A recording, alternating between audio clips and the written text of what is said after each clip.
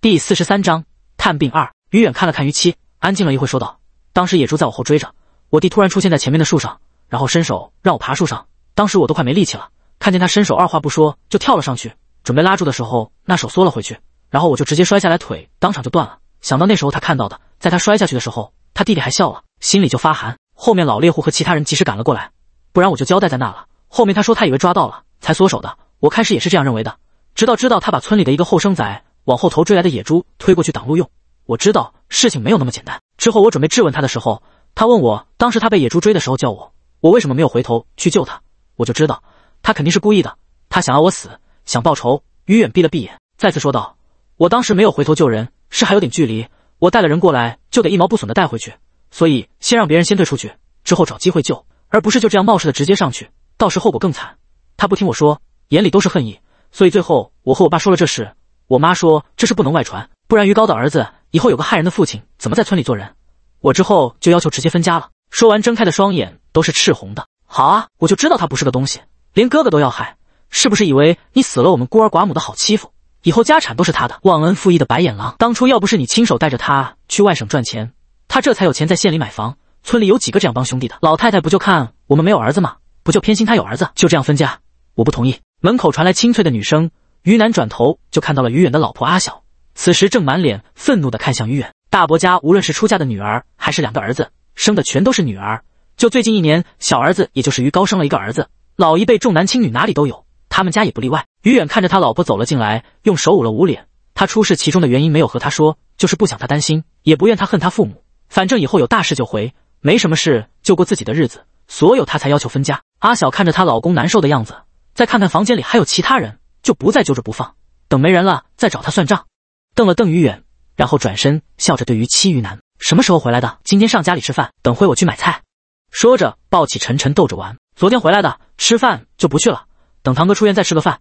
我们昨天回来还没到家呢，家里已经准备了，看完堂哥就回去。于七看着他抱了孩子，才站了起来，松松腿，笑着说道：“阿晓想着大堂妹好久没回家，书神肯定也想得很，于是也不多留，点点头。说了一会话，于南他们就离开了，还得回表姐家拿东西，回家还要时间，所以也不多聊。”离开病房，于南他们到倩倩表姐的办公室，拿了钥匙，就不再多聊了。第四十四章到家。等他们到红星镇，已经一个小时后了。于爸早就得到消息，在街上等着。电动车坐不了那么多人，他是开着三轮车来的。走到停车的地方，就看到他坐在车上吸着烟，和旁边的人聊着天。爸，走，回家。于七隔着几个人，就高兴的大声喊道：“在家里，于七和于爸相处的比较好，于南就和于妈比较好，于七也比较像于爸，无论是性格还是长相。”于南和于妈也是外公的乖外孙，我抱抱。呃，不饿。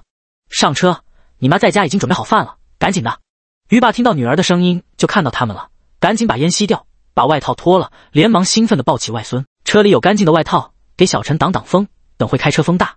说完，把孩子给到于七，等他们坐好，就开始启动车子，准备进村的时候，就看到于妈在村口张望，时不时和旁边的人交谈，每次都是这样，出远门或者从外地回来，他都在村口或送或者接。妈，回去了！于南大喊一声，因为是上坡路，不要停车，而且也不远，就五十米不到的距离，所以也不停车，让他上来了。于妈看到他们回来了，高兴着和旁边的人说了一会，然后再疾步回家。一进门就看到坐在沙发上的于妻，于妈看着消瘦又憔悴的大女儿，连忙担忧的说道：“怎么瘦了那么多？是没有饭吃吗？叫你不要远嫁，去了外地，我们也坐不了车，啥情况都不知道。”说着说着，眼睛就红了。于爸在旁边也不说话。于妻连忙说道：“没有的事。”都挺好的，妈，你做了什么菜？我闻着挺香的，饿了都，我们赶紧吃饭。于爸挥挥手，直接道：“先吃饭，实在不行，你和孩子就在家待着，或者你在这边找个工作，我们帮你带孩子，你也放松点。”于妈赶紧把菜摆好，有鸡有鱼，还有大肘子，完了，一直夹到于七的碗里。于七听着老爸的话，再看着于妈一直给他夹菜，喉咙哽咽了一下。其实他也想回娘家，但是家里条件实在不好，要是多了他们娘俩，那就更加加重了父母的负担了。偶尔回来还好。要是以后弟弟结婚了，他还在家常住，弟妹也肯定不答应。他不想父母辛苦了一辈子，到底来还因为儿媳妇的原因夹着不好做人，那样太苦了。到时候再说。妈的手艺还是那么好，自己吃不用一直给我夹，我自己可以。说着给于妈夹一筷子菜，好，你多吃点，太瘦了。说完自己低着头开始吃饭。于南早已习惯，毕竟他刚回来的时候也是这样，所有也不存在什么嫉妒啊之类的，家里父母还是很公平的。吃完饭之后，于妈拉着于七进房间里私聊。于爸带着小晨晨在玩，他自己也无聊，交代了一声回房间休息。转身就进了空间。之前在外面都不安全，没法进里面看看，一进空间就踩到了之前买的蜡烛腿和走地鸡，把它们捡起来放到干净的石桌上。空间有保鲜作用，所有还是好好的，青菜都完全长熟了，看来要尽快拿出去吃。刚好他姐回家，可以养养人。再往里走，之前种的果树也都结果了，芒果还没完全熟，皮还是青色，不过个倒是挺大的。买的是新品种，果树不高，但是果却很多，全都吊着，看着很喜人。葡萄全熟了，一串串子到发黑的挂在于南之前绑好的竹子上，走近还能闻到那腻人的香甜。于南摘了一串尝一尝，皮薄肉多，还没籽，汁非常的多，而且非常的香甜，可能是空间的原因，还冰冰凉凉的，吃着口感非常好。再去看了看草莓，他当初就种了一排，不多，结果一眼望去都是红彤彤的草莓，个个都有鸭蛋大。于南上前摘了两个尝了一下，比外面的。简直好吃太多，清甜味非常的浓郁，比外面卖的牛奶草莓不知道好吃多少倍。于南刚吃完东西，又吃了一串葡萄，再吃两个草莓就没办法再吃了，已经撑了。今天刚回来，啥也没买，水果就不好拿出去，明天再摘点带出去给家里人尝尝鲜。以后家里的水果和蔬菜他承包了。准备出去的时候，他又去井那边看了看里面的红莲，看着没什么变化，但仔细一看，还剩一点莲子就全部成熟了，看来应该过不久他就能知道这是什么东西了。拿了一点井水，转身就出了空间。于南锁好门后，没有稀释就喝了一口。过了一会，身子又开始发烫，只是没有之前那样难受了，而且排出来的东西也不再是黑黑的东西，而是都变成了黄色。看来身体里的毒素啥的都排的差不多了，再来几次应该正常了。还好衣服是深色的，不然还不知道怎么解释。于南拿着干净的衣服去洗澡房，出房间的时候，几个人都已经坐在那里聊天。我去洗个澡，然后睡一会，有点累，刚排出脏东西，不洗一下他浑身难受。走后还听到于七和于爸、于妈在谈着车站人贩子的事。于妈担心的直呼太危险之类的，于南不再关注，赶紧洗澡完事。第四十五章上街买菜。晚上大家都睡着的时候，于南进空间把成熟的一些菜都摘了，还有葡萄和草莓都摘了好多，放在报纸上，拿到石桌那边放着，再把空了的地再次松了一下土。上次买的种子还没用完，这次还可以种一次。弄完这些后，他吃了点水果，休息了一会，把家里之前养鸭用的那个软铁丝网拖进空间，然后放进荷塘里，在旁边圈出一个差不多二十平米的地方，以后可以养些鱼虾。做完这些，于南都累趴了，坐在那里休息了一会，然后去喝了空间水。现在都十一月份了，外面已经开始入冬，于南家是没有空调的，父母舍不得，他自己也忘记了，想着过两天再去买。空间里还是清凉合适，所以他也不打算出去了，拿了一张席子和一床薄被，晚上直接在空间睡觉。他没注意到，当他睡着的时候，井里的那朵红莲在慢慢的转动，然后从他身上看是飘出很多红色的亮点，那些亮点就像蒲公英一样到处飘，落在蔬菜水果上，落在荷塘里。落在草药上，还有一些飘到了鱼南身上，都被吸收了。其他的植物都变得更加的精神，就连鱼南的皮肤都开始变得红润了一点。显然，这些东西比空间灵水的灵气更加浓郁。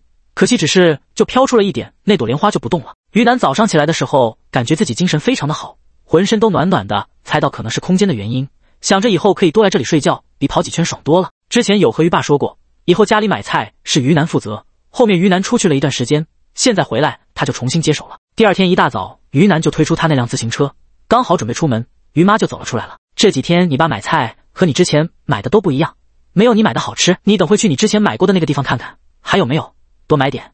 想到那天吃的那些菜，怪想念的。行，等会我去看看，多买两天的量回来。于南点点头，等会从空间多拿一些，正好不用天天去骑自行车，也是很累的。于七见他推着自行车出来的时候，还在那里爆笑，笑整个村就他不会骑电动车。于南满头黑线，面无表情的看着他笑。于七看着他妹尴尬的脸色，急忙道：“赶紧去，赶紧去，回来我教你开，以后出门就不用拎着你那自行车了。”说完又是大笑：“不学，我以后可是要开小车的，开什么电动车？不开！”假装生气的走人，慢悠悠的骑着车往街上走，心里还是挺期待的。比较爸爸不会教，妈妈也不会开，自己想学也不知道找谁。刚好他姐回来了，那就学学吧，毕竟机会难得。他照例骑着车上街溜达一圈。街上的商贩都陆陆续续的开始摆摊了。于南看到他最喜欢吃的螺蛳粉，几十年的老店已经开火，想着今天应该是节日，不然平常没有那么早。老板，打包三份螺蛳粉，加鸭脚和油豆腐。想着家里的两个女人，于南决定都打包回去吃。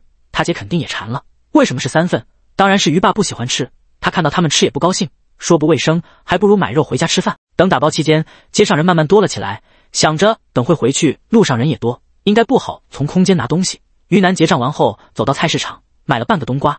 他空间里没有冬瓜，刚好可以拿回去炖汤。半个冬瓜都有三十斤重，于南家种过，根本吃不完，一个就有一米多长，七八斤的冬瓜到处都是，送人都送不出去。后面就没再种过。于南让老板给他一个麻袋，把冬瓜装上，放到自行车前面的三脚架那里。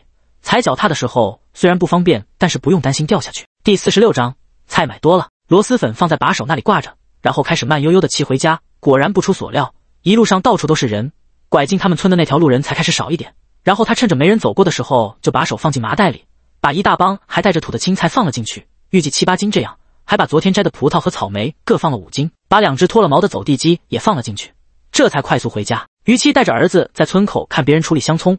得多的人到目前为止都还没卖完，不像于南家的地势属于比较少的那种了，所以他就算想留在家也困难，没有收入吃老本，怕是被人戳脊梁骨。逛了一会，人越来越多，他刚回来还想别人问东问西，所以起身准备回家。咦咦，车车！于南顺着儿子挣扎的方向看了过去，就看到于南推着车子上坡，前面那一大袋东西，怕是过年人家才买那么多吧？这也太夸张了，连忙走了过去帮忙。于南听到小外甥的声音，赶忙抬了头，看到他姐过了。忙停了下来，喘了喘气，失策了，东西太重，推不上坡。你这买了啥东西？怎么那么多？买个菜而已，而且也留不久啊。于七无奈极了，就算放冰箱里，到时候也没有刚买的新鲜啊。走近的时候还看到了螺蛳粉，再次笑道：“哎呦，买了螺蛳粉，哈哈！我刚还想着今天找个机会上街吃，你就买了。完了，把孩子给于南牵着，他把这车推了上去，买了半个冬瓜。谁想到那么重，赶紧回去，不然等下粉都坨了不好吃。等下回家肯定被于妈说了。”完了，拉着小外甥往家走。到家的时候，于妈于爸都不在家，问了于七也不知道，说他出去的时候还在。看着剩下的一碗粉，没办法，只能打电话了。刚拨出去，手机就在门外响了起来。于南出去一看，于妈在脱水鞋，鞋子到处都是泥，干啥去了？我买了粉，刚好回来吃。前两天下雨，地里都是湿的，这穿着应该是下地了。后面萝卜地去看了一下，已经长了挺多，过两天应该可以分支了。到时候一起去，争取一天弄完。我在后面就听到你们的声音，咋了？于妈在院子里的水龙头下把鞋子清洗干净，然后放在屋檐下等风干。哦，就是菜买的有点多，其实也不多了。好吃的话就两天的量，就上次那种，还有一点水果，都是那一家的，超级好吃。就是多了一个冬瓜，不过冬天冬瓜熬汤也不错。然后还有两只鸡，其实也算多。于南说完也不看于妈的表情，闪身进去赶紧吃粉。余光看着于妈走向那一袋子菜，于妈看着前面的菜袋子，一边扒拉着一边问道：“路上碰到人多不？有没有人问了里面是啥？没有，没人问。”于南道道：“那就好，买就买了，就怕村里人知道，说你没脑子，喉咙大，不会买钱多。”于妈无奈道：“村里八卦的人太多，稍微出格点就能成为别人的饭后闲谈。对于还没出嫁的女孩子来说，这可不是好事。”哇，这草莓怎么那么大那么香？是不是打药了？于七拿着盘子一边吃粉一边看着于妈把东西拿出来，结果草莓刚出来就闻到清甜味，太香了。我吃了，和外面的感觉不一样，很甜。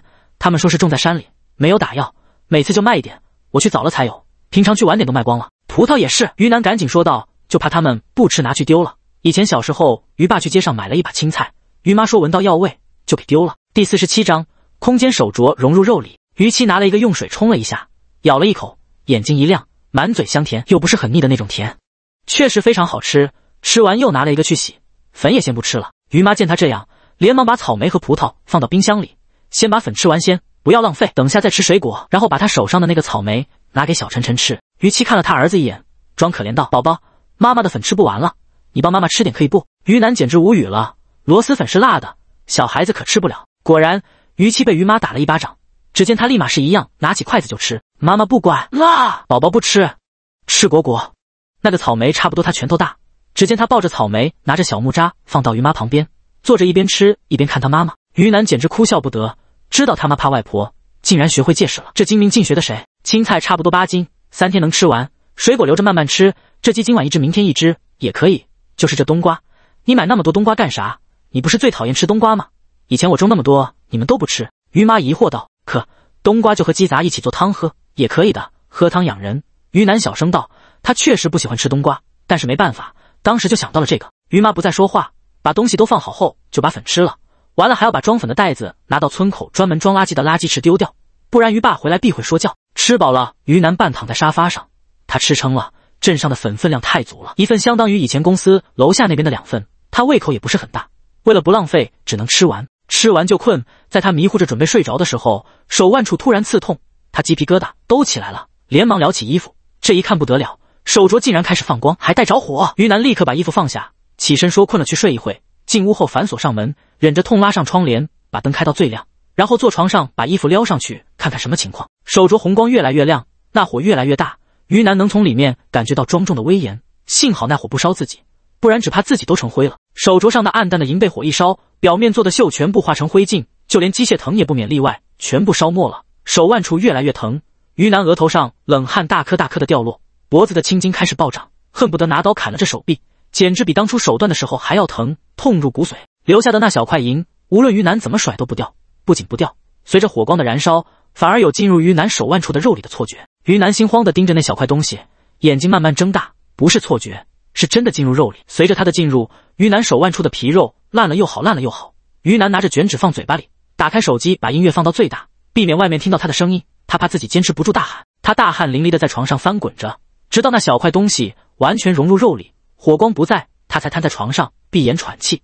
他没有看到他的眉心红光一闪，出现了火红色的一个图腾，之后再慢慢消失。如果他能看到的话，一定觉得熟悉，竟然是那石桌旁那个不知道的动物的缩小版。第四十八章容貌改变。于南缓过来的时候，已经过去了半小时，手腕处白洁无瑕，什么都没有。他有一瞬间的心慌。怕空间被烧没了，他像往常一样准备进入空间，然后却怎么也进不去，像被什么隔绝了一样，却又能感觉得到空间的存在，并没有消失。他稍微放了心，猜测是不是晋级了，只有等进去之后才能知道。把之前准备的空间水拿来喝了一口，等恢复了力气，于南才换了一身衣服出去。睡醒了，那把这些菜摘了洗一下，我去弄鸡肉。出来的时候看到于妈已经在准备晚饭，于南接过青菜，坐到院子里把菜根去掉。空间里出的菜没有黄叶，很干净，用水洗了两次就可以了。拿到厨房，看着于妈做饭，灶台上放着刚出锅的葱油鸡，底部垫着黄瓜丝和胡萝卜丝以及洋葱，闻着超级的香。于妈见于南进来，拿了一个鸡翅给他尝尝味道。于南一边吃一边竖大拇指。四个大人一个小孩，晚饭做了两菜一汤，都是大盆装，个个吃得满嘴流油。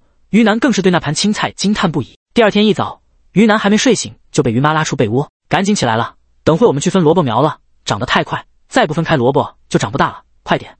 说完把被子掀开。于南被冷的一个机灵，再睡是不可能了，只好起来洗漱完，吃了俩草莓，就往地里走去。大老远就能看到密密麻麻、绿绿葱葱的一片，长势很是喜人。这豌豆苗看来不久就可以摘一次芽吃了。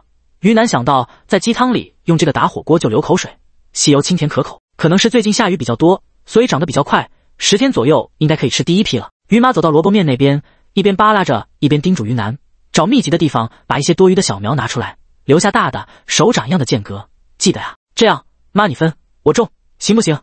你分比较快，还是分工来吧？比较快，行，可以。于妈没有意见。弄到中午，于爸过来叫回家吃饭的时候，整块地就还剩下一点点。于妈坚持弄完再回去吃，不然来来回回浪费时间。这样，我种，我来种，行不行？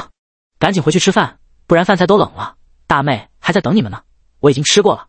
还有这葡萄不错，下次多买点。于爸一边吃着葡萄，一边交代着。那我下次去早点。于南点点头。回到家，于妻自己一边吃，还一边给小晨晨喂奶粉。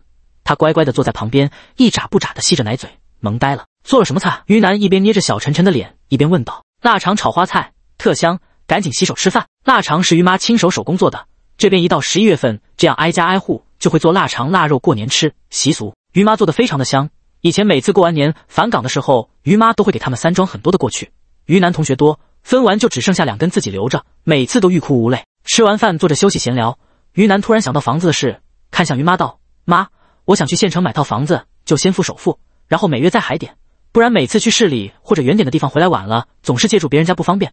你觉得呢？买房子？你赚了多少钱？这就有钱买房子了？”于七吃惊的看向于南：“没有多少，就之前在山里挖到一根野人参，赚了点钱，全额付款都没有，就只有首付了。忘记和你说了，反正到时候买房他也会知道，所以还不如直接说了。人参，传说中的。”他吃惊的看着向于妈。那可是人参啊，他都没见过。对，家里还有几根参须呢，到时候买只老母鸡回来炖汤喝，补补身子。于妈肯定的看向他。房子的钱我算过，买个一百二十平米这样，现在的价格是七千一平，那首付的话也就二十五万，我身上的四十万还剩下一点，拿来每月还房贷还是够用的。于南把自己的打算和于妈说了一下。于七还在我妹妹变成有钱人的打击中没恢复过来，就听他在那巴巴的几十万几十万。想当初他们买房的时候，小晨晨的爸爸到处求姥姥告爷爷的，才借到八万。顿时心酸不已，不过他倒是没有嫉妒，毕竟是自家姐妹运气好，高兴还来不及。晚上你爸回去我问问他，到时候我们补贴点，总是够用的。于妈想着女儿还没嫁人，有自己的房子，倒是去婆家也有底气，她是赞成买房的。于南点点头，看向于妻，到时候给你留一间房，受委屈了想什么时候回来就什么时候回来，没人敢说你。于七高兴的直点头。回来的时候满身泥土，衣服都脏了。于南觉得身子痒痒的，赶紧去洗了澡。洗完之后，他吃惊的看向镜子里，巴掌大的脸在经过水汽的洗礼，变得包了蛋壳的鸡蛋一样粉嫩剔透。斜长的眼角在微微抬眼中，既清冷又带着不做作的妩媚。鼻子小巧，嘴唇饱满精致，唇色不涂自红。于南摸了摸脸蛋，确定这是自己人还是那个人，但仔细一看又不像原来的自己。于南冷静的想着，这些天发生的事，应该就是手镯融合了肉体。导致容貌有所改变，现在空间还无法进去，也不知道这变化是好是坏。但爱美之心，人皆有之，他也不例外啊。现在不能直接这样出去，一次性变化太大，惹人怀疑就不好了。回头在脸上涂点东西遮挡一下，后面再慢慢减少，再慢慢露出真容。于南把头发放了下来，回到房间用化妆品化了一点，容貌是变得暗淡了一点，但是那双眼睛灵动有光，久久盯住的话，一不小心就陷入进去。第四十九章空间重启。晚上于爸回来的时候，于妈把于南的想法告诉了他。他思考了一会，就找到于南。于爸看着眼前最出息的小女儿，最近一个月改变了很多。刚回来的时候，瘦弱的好似风一吹就倒。那时候还担心他们老了以后他怎么办。现在在家待了一个月，皮肤都透出健康肤色，人也胖了一点，脸都有肉了。上次挖到人参，钱对半分了，加上可能他之前工作赚的钱还有一点，现在都有勇气说去县城买房。以前想都不敢想。大哥两个儿子都在县城买了房子，说不羡慕是假的，可惜自己也没本事。没想到临老了还能享福。买房子的事。我不反对，就是有点担心你哥有意见。于爸把心思摆明了，农村都是儿子养老，现在女儿买房子，儿子反而没有。但是村里不知道怎么说呢。于南也知道这情况，对着他爸说道：“我先买，你们那不是还有钱？等过了年我们再看看有没有什么活做，再赚点，以后给哥哥再买。我这次也不打算动你们那的钱，不用担心。而且这房子大家都可以去住，这没有关系的。既然你都考虑好了，那就找时间去看看。行了，没事就去睡觉吧。”说完点点头，然后离开了。于南关好门后，上床查了了县城房子的情况。他比较满意的还是县中心易德园的位置，旁边是酒店和公安局，后面是文化宫广场，前面一千多米的距离就是县政府和县重点高中初中，并且很近医院。公交车和租出车的站点就在对面。以前他还没毕业的时候就看到那里在建设了，现在都有住户入住。到时候问问倩倩表姐，看看有没有认识的人介绍。半夜，于南正沉睡着，突然就被一股力量扯了起来，顿时就醒了过来。一睁眼，已经在空间里了。在他还没反应可以进空间的时候，就被眼前的景象惊呆了。远处的山变得仙气缭绕，还能听到瀑布的穿透声。从荷塘那里辟出了一条石板路，一米宽，直通到山脚。荷塘里的花竟然全部开开放了。之前他自己种的水果已全部成熟，就连刚种下不久的蔬菜也全部成熟，并且有了变异的感觉，感觉就像是玉雕的一样。于南望着那口一直在溢出来的井水，犹豫了一会才走过去，看着那朵没有了莲子的红莲。于南意料之中，看来确实是莲子成熟，并且已经掉落了。铿锵一声，直冲天际。于南急忙望向山那边，从远处飞来一道火红的身影，绚丽的尾巴，矫健的身姿，尖锐的钩爪，从上空直直往于南这处降落。凤凰，竟然是凤凰！于南瞪大了眼睛，神话世界才有的凤凰，怎么会在这里？他惊慌的看着越来越近的身影，浑身都无法动弹。就是你开启了我的福地洞天。于南看着凤凰在他眼前变成一位威仪的红衣女子，他惊呆的无法说话，气场太强了。那女子看他这样，收了收满身的威压。清冷的望向于南，回话：“如果说的是这个空间的话，是的。”于南咽了咽口水，轻声道：“那女子听闻，围着于南转了一圈，疑惑道：‘没有血脉继承，又是繁体，怎么就打开了？看来只能是有缘人了罢了。’说完，失落的坐到石凳那边。于南看了看他，还是跟上，站在旁边等着，也不打扰他思考。过来一会儿，现在是什么朝代？外面是哪里？你细细说来。”那女子看着于南，温和问道，只是表情没有那么严肃。现在是二零一六年。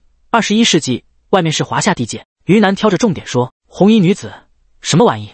你认识我的本体吗？”试着问了一下，认识。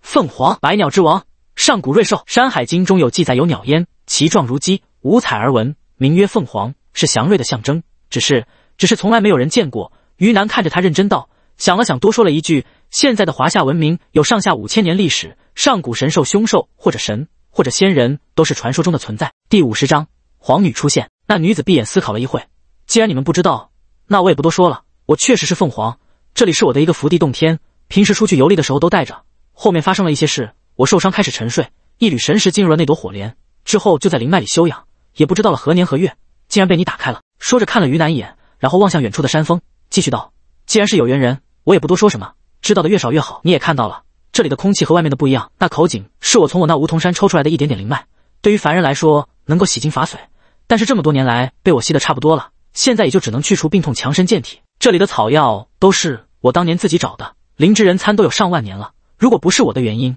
他们都可以修炼成人。还有，他怜惜的看向那些药草，指着远处的草药，白色的是血姬草，美颜养容；黑色的是毒蜂，是有剧毒。旁边的火焰草刚好是他的克星。那蔓藤是龙心草，将死之人也能救活。山上都是一些珍贵的树木，金丝楠木、沉香檀香木，还有梧桐树等。想来其他你也用不到，其他的都不怎么重要，以后你自己慢慢看吧。说完，把两颗火红的莲子放入石盘那凤凰图腾的眼眶里，那石盘瞬间启动，咔咔的响，变成一书简模样。对着空间有什么不懂的，你可以查这个。我要离开了。他看了远处的瓜果，认真的看向于南。这个空间既然被你开了，那就送给你，往后不可用于害人。当然。如果是不良之人，你随便。还有，我要把那些上了万年以上的草药全部收走，我有用处。剩下的那些还会长的，在这片天地足够你用了。你还有什么什么要问的？于南敬重的看向皇女，顿了顿，严肃道：“我想知道，是不是有天外天？会不会对这片天地有什么不好的影响？这里都是凡人，根本无法反抗。还有，能知道您叫什么吗？”他哀伤的看向远处：“你可以叫我火皇。我醒来的时候就感受了一下，无法感应道族人，还不确定那方天地还在不在，机会很渺茫。”我自己的肉身都感受不到了，如果我还是找不到我的肉身，到时候我也会消失。所以你不用担心，这里没什么灵气，不会有人来的。要来早就来了，还等到现在做甚？好了，我要离开了。这里有两颗火莲，一颗等会你放入灵脉里，这样灵气才不会断了。还有一颗你自己留着。如果有像我一样的人来这个地界，你呼唤我。如果我不来，证明我消失了。到时候你把这个吃下。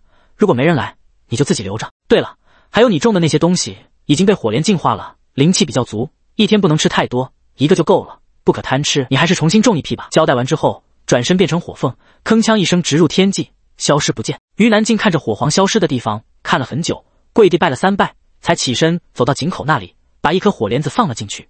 过了一会，水不再溢出，之前溢出的地方成了一个洼地。再看看灵芝和人参地，确实被摘走了一半，剩下大概都是年份比较小的。于南把洼地里的水浇了上去，一下去了一大半，心痛。虽然本来就不是他自己的，可是还是心痛啊。再看向那些蔬菜水果，看来明天得叫种子老板帮忙寄一些过来了。从家里拿了一个木质首饰盒，把剩下的那颗莲子放了进去，然后放在那个书简旁边，避免在外面掉了。第五十一章康复停药。出了空间，外面天已经大亮。于南在空间一直吸着灵气，现在反而没有什么困顿，倒是精神十足，所以他也不打算继续睡，想着已经一个月没有去复查，今天也正好没事，去看看，顺便可以去看看房子之类的。到医院的时候还早，才八点多，医生刚上班不久，因为不是周末。人还不是很多，于南挂了上次那个专家的号。进去的时候，医生都还有印象，看着于南道，气色看起来好很多，不错不错。把了一会脉，又开了一些抽血的单子，再抽个血，没事就应该可以停药了。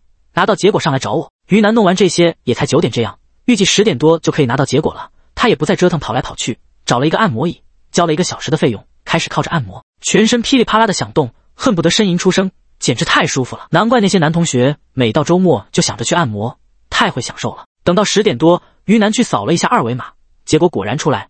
他看了一下数据，全都是正常的。虽然是预料之中，但也是松了一口气。拿着报告单跑上了三楼，刚好里面有人在。他在门外平息了一下气息，等那人出来，就敲门走了进去，把报告单交给医生。哟，一切正常，可以停药了。恭喜恭喜，回去注意不要太劳累，按时休息。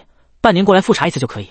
回家吧。医生高兴的恭喜于南，摆摆手让他离开。于南说了谢谢就下楼，走到医院门口。突然感觉整个人都松了，那根筋从生病绷着到现在好几年了，终于松了下来。想想那些难受的时刻都过去了，眼眶酸涩了一下。于南抬起手腕亲了一下，轻声道：“谢谢您，谢谢空间的出现，拯救了他这悲惨的人生。”感慨了一番，收拾好心情，于南走路走去了易德元寿楼处。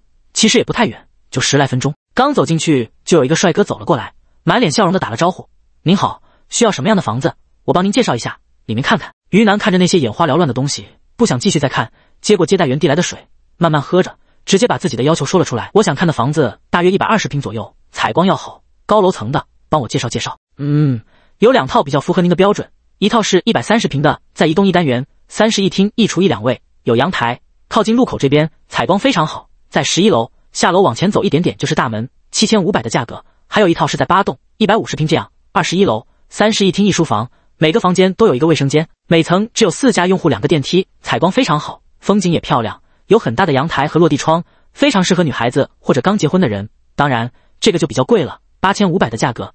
您看您喜欢哪个？接待员拿着本子介绍道。于南比较心动那个一百五十平的，算了一下，首付的话就要三十八万多了。思考了一会，他问道：“一百五十平的，如果装修的话，大概需要多久？费用多少？”他知道这些人肯定知道，而且说不定还有回扣。如果不是很多，自己勉强能够接受。预计差不多十万这样，一个月的时间。如果您有需要，后续我可以帮您安排，并且全程跟进，直到完工。您看怎么样？接待员暗暗高兴，看来很有希望承担啊。如果加上装修的，那他半年都够吃了。越发热情的看着于南，于南刚准备说去看看房子，电话就响了起来。一看，竟然是倩倩表姐的。表姐，怎么了？姨妈说打算买房，怎么样？有没有看中的？我帮你参考参考。我们认识点人，说不定能打个折扣啥的。胡倩的声音还是蛮大的，接待员这边都听到了，着急的看向于南。于南看了他一眼，和胡倩说道：“看中易德园一套一百五十的房子，我现在就在他们售楼处这里，还在谈呢。你就过去了？那么快，怎么也不和我说一声？你等着，我现在和钟子佳过去，先别定下。”那边着急的声音传来，于南只能看着接待员摆摆手。接待员欲哭无泪，到手的单子不要飞了就好。第五十二章买了房子。挂完电话之后，于南又给卖种子的老板打了电话过去。老板，我是上次在你家买了种子的于小姐，有印象吗？于南打了招呼，有有有。于小姐是打算再买点种子吗？那边传来老板高兴的声音。对，帮我多寄点过来，水果种子也多拿点。另外，西瓜、桃子的也帮忙寄一下，地址稍后我微信发给你。于南说完自己需要的东西后，就在微信上把地址发给他，等货到了再给钱。刚刚喝了水，上了一下洗手间。出来的时候就看到表姐和钟子佳在他原先的位置那里坐着，翻看他之前看的画册。表姐，钟先生还没结婚，所以于南没有叫他表姐夫，也不是很熟悉，所以只能叫钟先生了。你看中的是一百五十这套？胡倩指着画册上的那套房子疑问道：“这房子还是挺贵的，在县城。没想到这个小表妹存款还挺多的。”暗自点头，女孩子就应该这样，有一套自己的房子，怎样都是好的。就像她，虽然子家自己有房子，她家里也有钱，但那都不是她的。谁也不知道以后会怎样，还是婚前有一套自己的房子比较安全。就算是小小的一间，那也是自己的，谁也拿不走。对，挺喜欢的，各方面都挺符合我的要求。我还想去实地看看。于南笑着点点头，那走吧，满意的话就买下来。胡倩不再多说，起身和于南一起出去。房子就在后面，出门往后走就可以了。一路上看到的风景还挺好的，虽然树木不是很茂盛，显然刚种植两三年的样子。里面还有儿童设施，到了中间地段，也就前边往下走那里还有一个喷泉池。一个小广场，园区里还有游泳馆、篮球场、网球场等运动场所。对了，您看的这套在地下车库还免费赠送一个车位，这是其他家都不可能做到的一点。前面那一栋就是第八栋了，咱们往左边拐进去就是入口。接待员热情的介绍这园区的情况，穿过广场后，指着前面那栋看向于南道，门口有指纹锁、密码锁以及备用钥匙锁。接待员按住密码后就可以进去了。大门进去后，一边是直达楼层电梯，一边是安全通道楼梯。他们几个坐上电梯后，按着二十一的数字。不一会就到了，走出来就是两米多宽的走廊，左右两边各两户。于南看的是左边的那户两千一百零二，出了电梯拐个弯就是了，还挺冷清的，不吵不闹。这间就是了，右边那两间已经住人了。您对面这间两千一百零一还没卖掉，不过空间更大一点，两百多平。接待员一边开门一边介绍着，空旷的毛坯房布局和画册上看到的一样。客厅有一个很大的落地窗，采光很好，从窗口看过去能看懂整个县城全景。主卧也有一个落地窗，都挺好的。于南非常满意。易德园是老牌子了，他相信他家的质量。表姐，你觉得怎么样？于南看向到处转悠的胡倩道：“挺不错的。你要是满意，那就这间吧。走吧，我们先下去。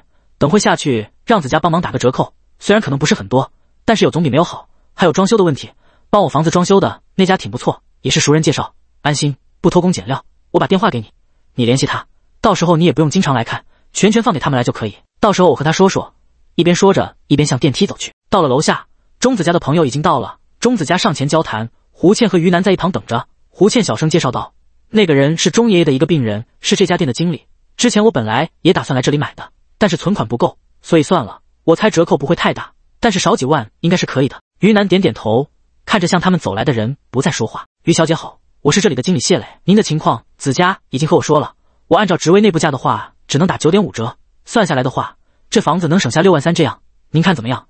谢磊看着前面气质非常好的年轻女孩，热情介绍道，一边把名片递了过去。这么年轻就能买房，还买那么贵，少见，说不得又是一个大客户。还有钟子家一边的关系，老实对待就是了。于南接过他的名片，没想到能少六万多，看来还不错。到时候装修费再加点，可能就够了。微笑看向谢磊，谢经理好，我挺满意的，那就帮我办理手续吧。我是先付首付，那贷款你们这里能办吗？还是得我自己去银行办理？不用麻烦您，我们全权负责。过几天办好房产证后，我们会联系您过来拿就可以了。说完，对远处的那个接待员喊道：“小李，过来帮于小姐办理一下手续。来了，请把您的证件给我，谢谢。”接待员满脸笑意的看向于南，看来这经理人品还可以。别的店听说都会抢单什么的，更别说还是认识的人介绍了。于南交了首付三十六万多，以后每个月要交三千二的费用，要交三十年这样。等所有的事办完后，已经是一个小时之后了。于小姐，后面房子要是有什么问题之类的，或者有什么疑惑，都可以直接联系我。听说你们自己有装修熟人，我就不介绍了。之后有朋友买房子，也可以联系我，能打的折扣我一定给到。谢磊他们到门口说道：“行，后续有事就麻烦您了，您帮了大忙，我请吃饭，就隔壁酒店。”于南接受他抛出的交好信息，微笑道：“不用不用，客气了，我还有点事要去处理。”您和钟先生他们去就行了，那我送到这就先走了，回见。说完和钟子佳告别就离开了。于南看向胡倩和钟子佳，走吧，我们去隔壁吃，不能说不吃啊，帮了我这么大的忙，顺道庆祝庆祝我买了房子。说着也不等他们拒绝，就先走一步了。胡倩无奈的笑了笑，钟子嘉对胡倩挑了挑眉头，表示那就去吧，不去的话，下次见面可能就还是钟先生了。去去去，谁说不去？帮你省了那么多，怎么不去？先说好，我要吃火锅，你应该没在这边吃过，川省那边的味道。超级好吃，我带路。说完，快速向云南走去。第五十三章遇到曾经喜欢过的男神。立信酒店是县城唯一一家比较高档点的酒店，二十几层楼高，一楼是大堂，二楼是超市，三楼是影院，四到十楼是美食，最上面八层都是酒店住房，其他的都是租给商户当写字楼用。于南他们的目的地是五楼火锅城。周海正和女朋友在吃火锅。今天是他女朋友刚从外地回来，他们在一起的时间满打满算也有两年，父母年纪都大了，便开始催婚。他女朋友自己在外地开了一家餐馆，他自己呢在隔壁市的国有单位做技术员，两人的工作都很好，但是结婚就不可能分开，所以这次他女朋友回来是打算两人商量商量怎么处理。女朋友是周海的初中同学，过年什么的聚会也经常碰到。初中那时候他就对她有好感了，但是他初中到大学一直有女朋友，所以他没有机会。直到毕业后，他开始单身。最近两年父母催得急，他的追求又猛，他是成年人了，需要考虑的不仅仅是爱情，还有其他条件，家人都挺满意他的。周海也就同意了。周海看着窗外，成年人的世界就是这样，权衡利弊才能持久发展，不然只会是怨偶。就算将就，那也得找个自己不讨厌的。他需要的也不多，没有拖后腿的娘家，能给到他生活上的帮助就可以了。正好他女朋友就有这样的条件。看着楼下人来人往的人群，谁又能说是他错了呢？准备收回视线时，周海愣了一下，他好像看到他初中的一个女同学，那个曾经偷偷喜欢他，并且大学毕业时和他表白过的女孩。因为各种因素的考虑，他最终没有回复。可是看着楼下。那人又不像楼下那人，看着白了很多，穿着气质什么都很好。喜欢他的那位女孩有点胖，没有那么白。看着他的时候都是小心翼翼的，而且也算农村孩子，就在他家隔壁村，家庭也不怎么好。就算这几年在外地工作，应该也没有变化那么大。周海，你在看什么？有在听我说话吗？秦宇疑惑的看向对面的男朋友，再看了看窗外，没有什么。看着消失的身影，周海转头看向女朋友，温柔笑道：“没什么，就是想到项目了。快吃，吃完再去看电影。其他的事我们回去再说。”然后给他夹了一个木耳片，放在他碗里。秦宇看着碗里的木耳，再看看对面慢条斯理的吃着菜的男朋友，他无奈的叹了一口气。自己明明不喜欢吃木耳的，他也知道的，怎么给他加了一个木耳？难道是项目遇到困难了？不过没关系，她男朋友很厉害，重点大学毕业，她自己只有初中文凭，能交上一个自己喜欢了很久，并且是自己崇拜的人，她每天都能笑醒。其他的小事都不是事，想着夹起木耳，皱着眉头吃完，就是这家了，正宗的火锅店。闻闻这味，口水都快流出来了。胡倩拉着于南快速往里面走。于南想着，幸亏身体好了，不然这一顿下去又得开药了。这空气闻着都呛人。他们找了一个靠窗的位置，服务员拿着菜单走了过来：“你们选，都选自己喜欢吃的，不用客气。”于南把菜单给了对面的两人，然后再看看酒水方面。表姐，你要喝什么？凉茶就行。钟先生呢？钟子佳无奈了一下，苦笑道：“我也凉茶。还有，我们都那么熟悉了，我还是你表姐男朋友，可不能那么客气。”直接叫我子佳哥就可以了。他其实更希望他叫他表姐夫，但是他也知道这边的习俗，没有结婚的最好不叫，不然要是分手了，人人皆知，女方就不好过了。看了看对面，笑眯眯的看向他的表姐，于南无奈道：“好的，子佳哥，你看看你还有没有什么要点的？”说着，笑着把单子递给于南。于南再勾选了一个木耳和日本豆腐，就没有了。叫了服务员，把单子给交了上去。话说，你们打算什么时候结婚啊？婚都求了，小姨天天和我妈叹气，说女儿儿子都不愿意结婚，烦得很。于南调侃道：“我是没有什么问题，看你表姐的意思了。当然，我是希望越快越好。”钟子佳挑了挑眉，意味深长的说道。于南看向胡倩：“现在没有空，准备进修的事，明年四月份就没事了。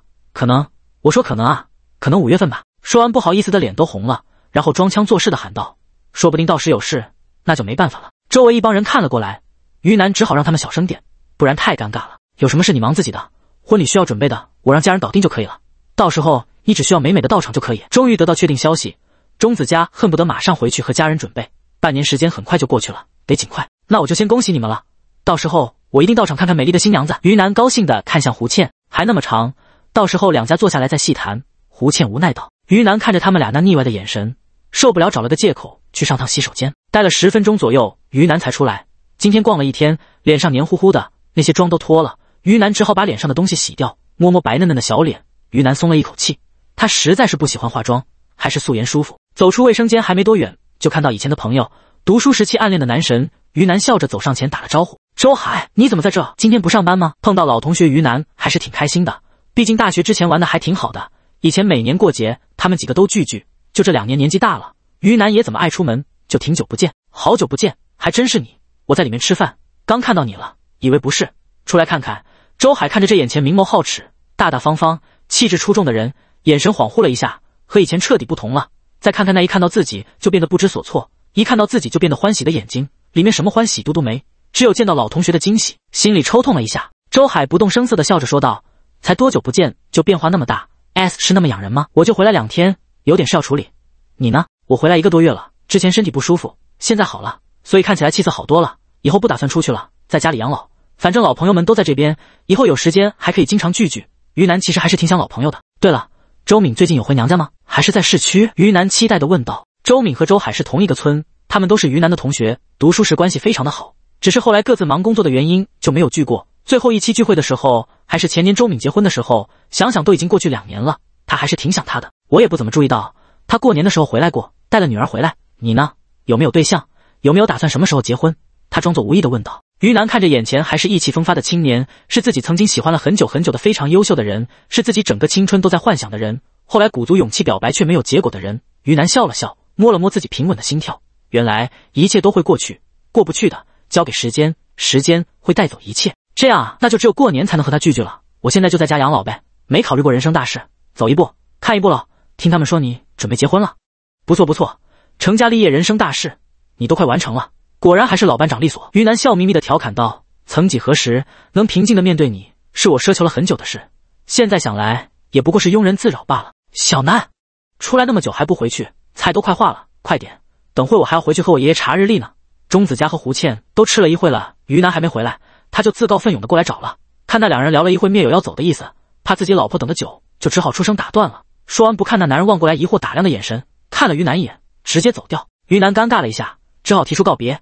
那周海，我先进去了，有空到时候我们几个再聚聚，反正距离都近，你也赶紧进去吧，拜了。说完，点点头离开。周海看着于南离开的背影，想到刚刚看到的那男的，他的眼神暗了一下。浑身都是名牌，手上的手表上百万，他还是在网上看到过的呢。于南的追求者，一个农村出来的姑娘，他是去哪里认识的有钱公子哥？皱了皱眉头，思考了一会，也抬脚走了进去。第五十四章一更，再不回来我就吃光了。你爱吃的木耳都给你烫好了，快坐下吃。胡倩看向于南抱怨道。碰到一个老同学，多聊了一会，于南一边坐下一边道，夹起碗里的木耳，看向他们，要不要再加点菜？这里还有，不用了，就我们三也吃不了多少。等会吃饱要不要去我那坐坐？胡倩看了看。桌面还有那么多菜没吃，摇了摇头。于南看了看时间，吃完也不早了，就不打算在县城逗留，想早点回去。不了，刚买了房子，回去和他们讨论一下装修问题。等会吃完也不早了，下次过来再去。于南回复道。另一边，怎么去了那么久才回来？秦宇刚想给周海发信息，就看到他回来，随口问道。周海心不在焉的坐下，嗯，哦，辣椒吃多了，肚子有点不舒服，没事了，吃吧。抬头笑了笑，继续吃菜。秦宇张了张嘴，看出了他心不在焉。他低下头，慢慢挑着米粒吃。过了一会，他最终还是出了声：“等会不看电影了，我们回去吧。我有点累了。”双手紧紧抓着筷子。其实他还是有点期待的。嗯，这样，那吃完就回去。等会我送你。周海点点头，给秦宇再次加了一次木耳。秦宇失落的不再出声，心想他可能是工作上出问题了。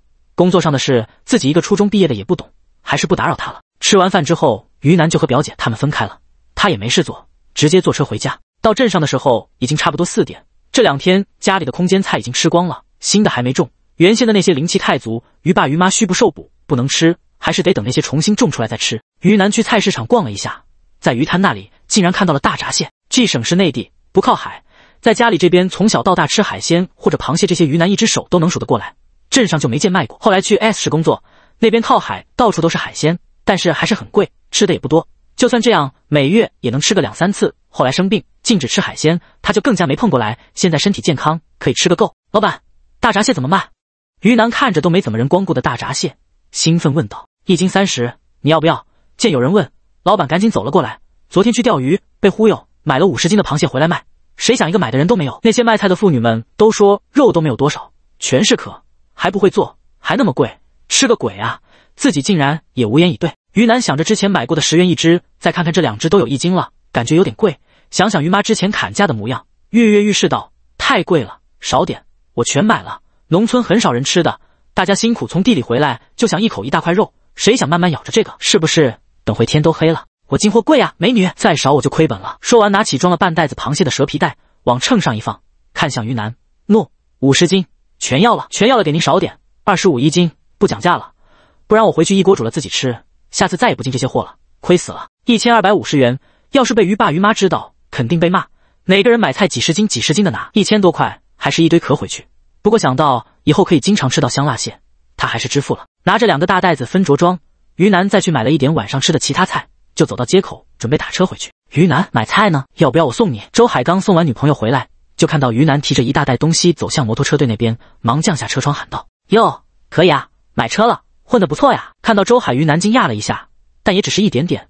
街口都是往各村的必经之路，两人还都是隔壁村，碰到挺正常的。周海看着于南打量他的车，心里得意了一下，略带骄傲的道：“这没什么，十几万的车而已，几年的工资全部都用这上了。走吧，上来，我送你。你这也不方便。”周海的语气，于南怎么会听不出来？不过也是，在这三线城市，一个农村孩子工作三年，凭着自己的努力买了一辆在农村来说已经是算是豪车的车子，值得骄傲。不用了。我打车方便点，你家比较远，我们也不同路，我打车回去就十分钟就到了。好了，不多说了，我买了螃蟹，再不回去就死了。说完，举了举手上的两袋子东西，转身打了一辆摩托车回去。周海关上车窗，看着远去的人，眼神暗了暗，果然和以前不一样了，更加自信美丽了。握着方向盘的手紧了紧，可惜了家里拖后腿，不然等车开进自己村里那条路时，于南叫司机停了下来。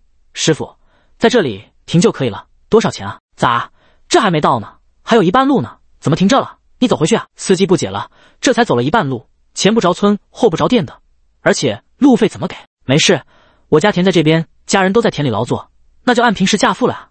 于南看出了司机的欲言又止，把五元钱递给了他，拿着东西往前走了。等司机开车的声音再听不到，于南连忙把一袋子的螃蟹倒了一半左右到另一个装了螃蟹的袋子，满满一袋直接放进了空间，等会回家再放进房间水里。村口人太多，你买了多少东西，他们基本都能看得到，所以。于南只好在半路把东西放进空间，再从里面把那个蜡烛腿拿了出来，找了一个干净的石头先坐着，给于爸打了个电话，让他来接人。不到五分钟，就见于爸开着电动车慢悠悠的过来了。哟呵，你这去哪买的火腿？于爸看着于南旁边的火腿，两眼冒光。这东西好吃，街上没有地方卖，大多数人也不会落那么多，基本过年完都吃光了。县里买的，人家说今年才做，家里太多了就拿出来卖，可贵了。把火腿放到放脚的空着的那地方，让鱼爸抓着。鱼南坐上后面。开了起来，那晚上炒一盘，刚好之前泡的那点人餐酒可以喝了。啧啧啧，这才是享受。鱼爸想着那场景，急忙加速回去。刚到门口，就看到于七带着小晨晨在看电视。于爸把那火腿抬了进去，他拿了一个桶，把螃蟹倒了了进去，装了点水，避免死了。刚好八只，一人两只。小孩子太小，就不让吃了。哇，竟然有螃蟹！晚上清蒸还是做香辣蟹？于七兴奋地说道。他自己也很喜欢吃海鲜。以前工作的时候也经常吃，说来也是结婚后开始就没再吃过。记得刚结婚不久，他还想吃来着，被婆婆一说太贵了，留着钱买房，他就再也没提过。后来买了房，有了房贷，但凡贵点的东西他都不敢买，心里苦笑着，还是不嫁人的好，像妹妹一样多好啊！买这玩意干啥？都没一点点肉，贵的要死，还不如把钱买只鸡划算。说这话的就是鱼霸，一切不是肉的食物，但凡价钱超过了其他肉类，他都觉得不值得，贵。于南也算了解他。那个时代过来的人都是吃苦过来的，你们都没吃过，尝尝鲜，就清蒸吧，原汁原味。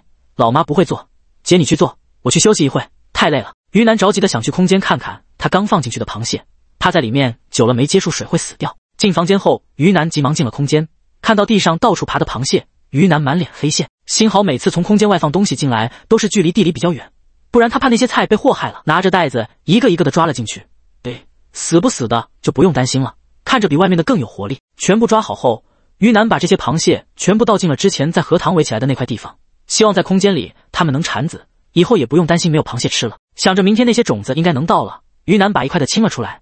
一会到时候种上西瓜和蔬菜，一样种一点，够家里自己吃就行了。弄好之后，于南想着明天到的桃子，地里种着，到时候会太挤了。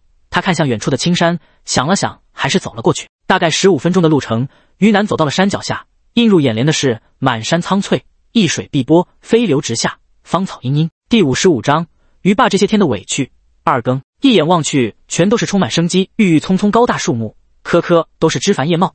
于南不认得是什么树，想来应该就是皇女所说的那些珍贵品种了。再看向飞流直下的瀑布，不似书本上描写的波澜壮阔，却也是千丝万缕，水落石出。底部的水潭清可见底，形成一条溪流，流向远处到的荷塘。山上似乎没有什么动物，都听不到声音，水底也没有鱼类，看来应该是凤凰的威压导致低级的品种无法生存。不过现在皇女已经离开了，自己要不要买点家禽进来养着？一步一步慢慢来吧。等明天桃树苗来，直接种到小溪两边，以及把水潭旁边也围了起来。到时候一开花，简直是美景，想想就期待。时间差不多了，于南赶紧出去，家里已经摆上饭了。于七刚好准备敲门，于南就出来了，看着桌上满满的饭菜，除了蒜苗炒火腿，还有清蒸大闸蟹，以及昨天还剩的半只鸡熬的人参鸡汤，加上一盘油爆菜花。于南看得胃口大开，吃着吃着。突然想起买了房还没和家人说，于南咽下嘴里的饭菜，高兴看向大家。我今天去县城把房子买下了，就在文化宫后面立信酒店旁边那里的益德园，一百五十平这样，在二十一楼，三室一厅一书房，每个房间都有一个卫生间，每层只有四家用户，两个电梯，首付三十六万多，以后每个月要交三千二的费用，要交三十年这样，你们觉得怎么样？哇，那里地段那么好，交通方便，以后小孩读书也方便，可以可以。于七替妹妹高兴，却也松了一口气，自己嫁远了，弟弟又不靠谱。以后父母只能靠妹妹照顾了。之前还怕妹妹嫁远了，现在房子都买了，想来应该不会。他觉得自己有点自私，但是能怎么办？当年自己不懂事不听话，硬是要远嫁，现在后悔也没用，只能不让家人担心才是最好的。怎么买了那么大？你钱是不是快用光了？要不是不够，我这还有，每月都还要付那么多。过了年得找工作了。于妈既高兴又担心的说道：“你妈说的对，买了就买了，过了年就得努力工作，不然坐山吃空，以后有的你来烦。”说完又高兴的多喝了两杯，再继续道。不行，就大家一起努力。整个村你找找，谁能像我女儿那么年轻就有房子的？是不是一个都没有？到时候装修好了，我们办个酒，让大家都来热闹热闹。想我一辈子到现在，每年都去吃别人的喜酒那么多次，这次终于轮到我们家了。说完又喝了几杯酒。于南和于妈看着他高兴，也不拦着。于七低着头不说话。他当初结婚也没有在家这边办婚礼，什么时候装修？能不能在年前装完？到时候刚好新年新房。于爸满脸潮红的看向于南，满眼都是期待着。过两天拿了房产证。我就去联系人来装，一个月左右吧，年前应该可以的。于南算了一下私时间，到时在家里或者酒店办酒，新房就先不住，可以带人去看看就可以了。距离过年还有一个多月呢，可以的。好，好，好，小妹出息了，以后啊，我和你妈就靠你养老了。你哥那个傻的，到时候也得你帮忙，呃，不死他就行。你姐呢，自己成家了，就不用她怎么样了。我和你妈也老了，干不了几年活了，你自己努力努力啊。说着说着，他就哽咽了。爸，你喝醉了，以后我们三姐弟妹都努力，你别说了。小妹压力大，于七赶紧劝道：“你让她喝，今天她高兴。这十几年来她心里也苦。”于妈拦着于七道：“老婆子，我俩磕磕碰碰也到了这年纪，这些年让你吃苦了。我没本事，爸妈不喜欢我。当年我读书读得最好，考上高中也不让我读，直接让三妹去，结果读了个屁回来。那些年我恨啊！”于爸拉着于妈的手，醉眼吁吁的说道：“我知道，我知道，都过来了。于妈这些年来确实过得很苦，没有哪天轻松过，为这个家操碎了心。六十岁的年纪，已经满头白发。”比同龄人苍老了许多。结婚后，他们就把我和小弟分了出去，为了一个厨房大哥嫂子找我们吵架。他们都看不起我，我都知道，看不起我有一个傻儿子，看不起我借钱给两女儿读书，个个都说我把两女儿供上大学是傻子，白白便宜了别人家。看不起在别人家都是楼房的时候，我们家的床都是木板组成。大姐和姐夫看不起我，说我们家做的饭菜都是脏的，逢年过节从不进我们家。小弟因为家里房子不够，导致每次回来都去娘家住，被村里人嘲笑，被丈母娘责骂的像个孙子。于爸激动声音渐渐低了下来。拉着于妈开始哭，于南想着家里那些年过的苦日子，心里酸涩，喉咙哽咽，实在忍不住，拿了一张凳子到门口坐着，看着远处的路灯，看着漆黑的夜晚，周围都是蛙声一片，可也挡不住里面于爸的委屈。爸妈不喜欢我，我也给他们养老送终了。村里说到谁家女儿最出色，哪个说的不是我们家，都说我穷，看不起我。我不也用着这五亩地养出了两个大学生，再建了两层的楼房，我女儿还买了一百多万的房子。就问村里谁有她有出息？绝对没有，呜，绝对没有，老婆子。以后我们就享福了。于爸又哭又笑的拉着于妈，于妈在一旁直掉眼泪。于七也哭着走了出来，坐到于南旁边。过来一会，他才慢慢的停住，看着旁边的妹妹。小时候妹妹多凶啊，像个假小子一样，上山入河爬树样样会。小时候抱着她摔倒水沟里，她都不哭，静静的待着水里等人来救。被牛撞飞了也不哭，被外婆抱着挺着肿大的脸还能睡着，被家里的猪撞倒咬透嘴唇缝了几针也不哭，想想就想笑。这些年自己嫉妒他读大学的时候生活费高，向父母打了小报告，导致他被爸妈误会，两人半年都没说话。又因自己毅然决然的远嫁，把照顾父母的重担压在他身上，还时不时的向妈妈说要让妹妹嫁近点，导致他和男朋友分手。于南比他自己都还懂事，还要像姐姐。于七看着前方漆黑的夜晚，哽咽的轻声道：“对不起，这些年。”姐姐对不起你，然后大哭起来。于南想着，这些年来他都习惯了，如果没有关系两字让他舒心点，其实他也不介意的。没关系。第五十六章两姐妹的恩怨。虽然嘴里说着没关系，但是以前的他是不会原谅的。伤害造成了他被逼着长大，长大后他能理智的面任何事，但几年前的于南却不会。于七叹了一口气，心里松了一下，开玩笑的说道：“我们闹得最严重的，应该就是你大二那次过年，我哭你也哭，最后我们还把爸爸惹哭了。”然后你半年没有和我说话，我也没有联系你，咱俩这性格和爸爸一样，真倔。最后还是我先联系你的呢。不过后来你对我说的话都不怎么信任了，妈妈也是。其实她还是有点失落的，她貌似把妹妹的信任弄丢了。于南回想起那次吵架，其实还是有点心酸。那天正好是大年三十，他们一家吃完饭后坐一起看电视。那时候家里还是瓦房，电视还是黑白手动扭转的。本来挺开心的一天，也不知怎么的就说到了生活费的问题。小妹，你现在的生活费是多少呀？于七问。之前一个月三百五十，后来换了新校区变成五百。于南回那么多吗？我以前每个月才三百呢，你现在都多了快两倍，都是一个城市的啊。于其吃惊的问：“你的以前是七年前，七年后物价不变动的吗？”这是于妈当时的回话。那你朋友于成一个月多少钱？于成是于南的朋友，两人又是同校同专业，一样啊，五百元。他开始的时候就是五百了，我后来不够，还得问他借，之后家里才给我调的。于南当时是有点不理解的，为什么纠结这个？这个有什么好纠结的？于南从来不撒谎，所有感觉有点莫名其妙。我问问我朋友的弟弟，看看他一个男生多少钱。于七当时是直接打电话给了他朋友，他朋友说他弟弟没有六百元。然后于七开始发作，你看他一个男生才六百，你女生吃的又没有他多，应该只要三百才对，你就是骗家里乱拿钱了。我就说我当初才三百，你怎么就多了两百？妈，于南肯定骗了家里人了，乱拿钱。你以后每个月给他三百就可以了。明天我就问问于成，看他是不是要五百元。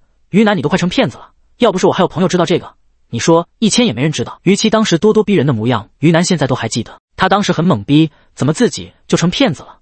他都不知道怎么回答，只能说你爱信不信。然后于七就开始和于妈说，开学后就只给三百，多了他不同意。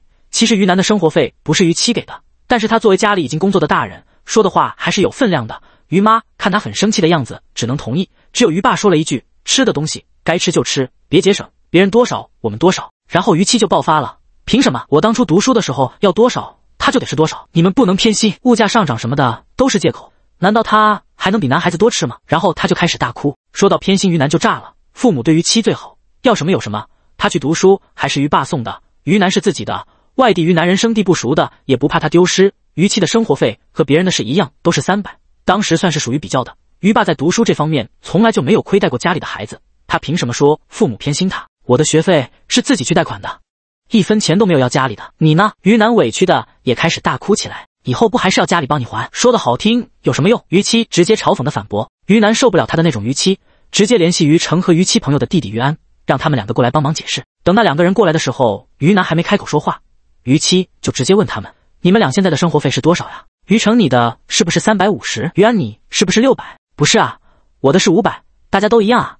有钱的人是一千多。这是于成的回答。我开始是六百，后来发现不够。变成了八百，但是我每个周末都回家。于安是在本市读的书，周末可以回来。两人说完后，一直看着于南哭，他们也不知道这闹什么，感觉怪尴尬的，就都走了。那时候的于南觉得自己的尊严是被按在地上摩擦，并且还叫人来围观，他委屈的想爆炸。这样啊，物价涨得还挺快的，也是，以前一碗粉才一块五，现在都三块了。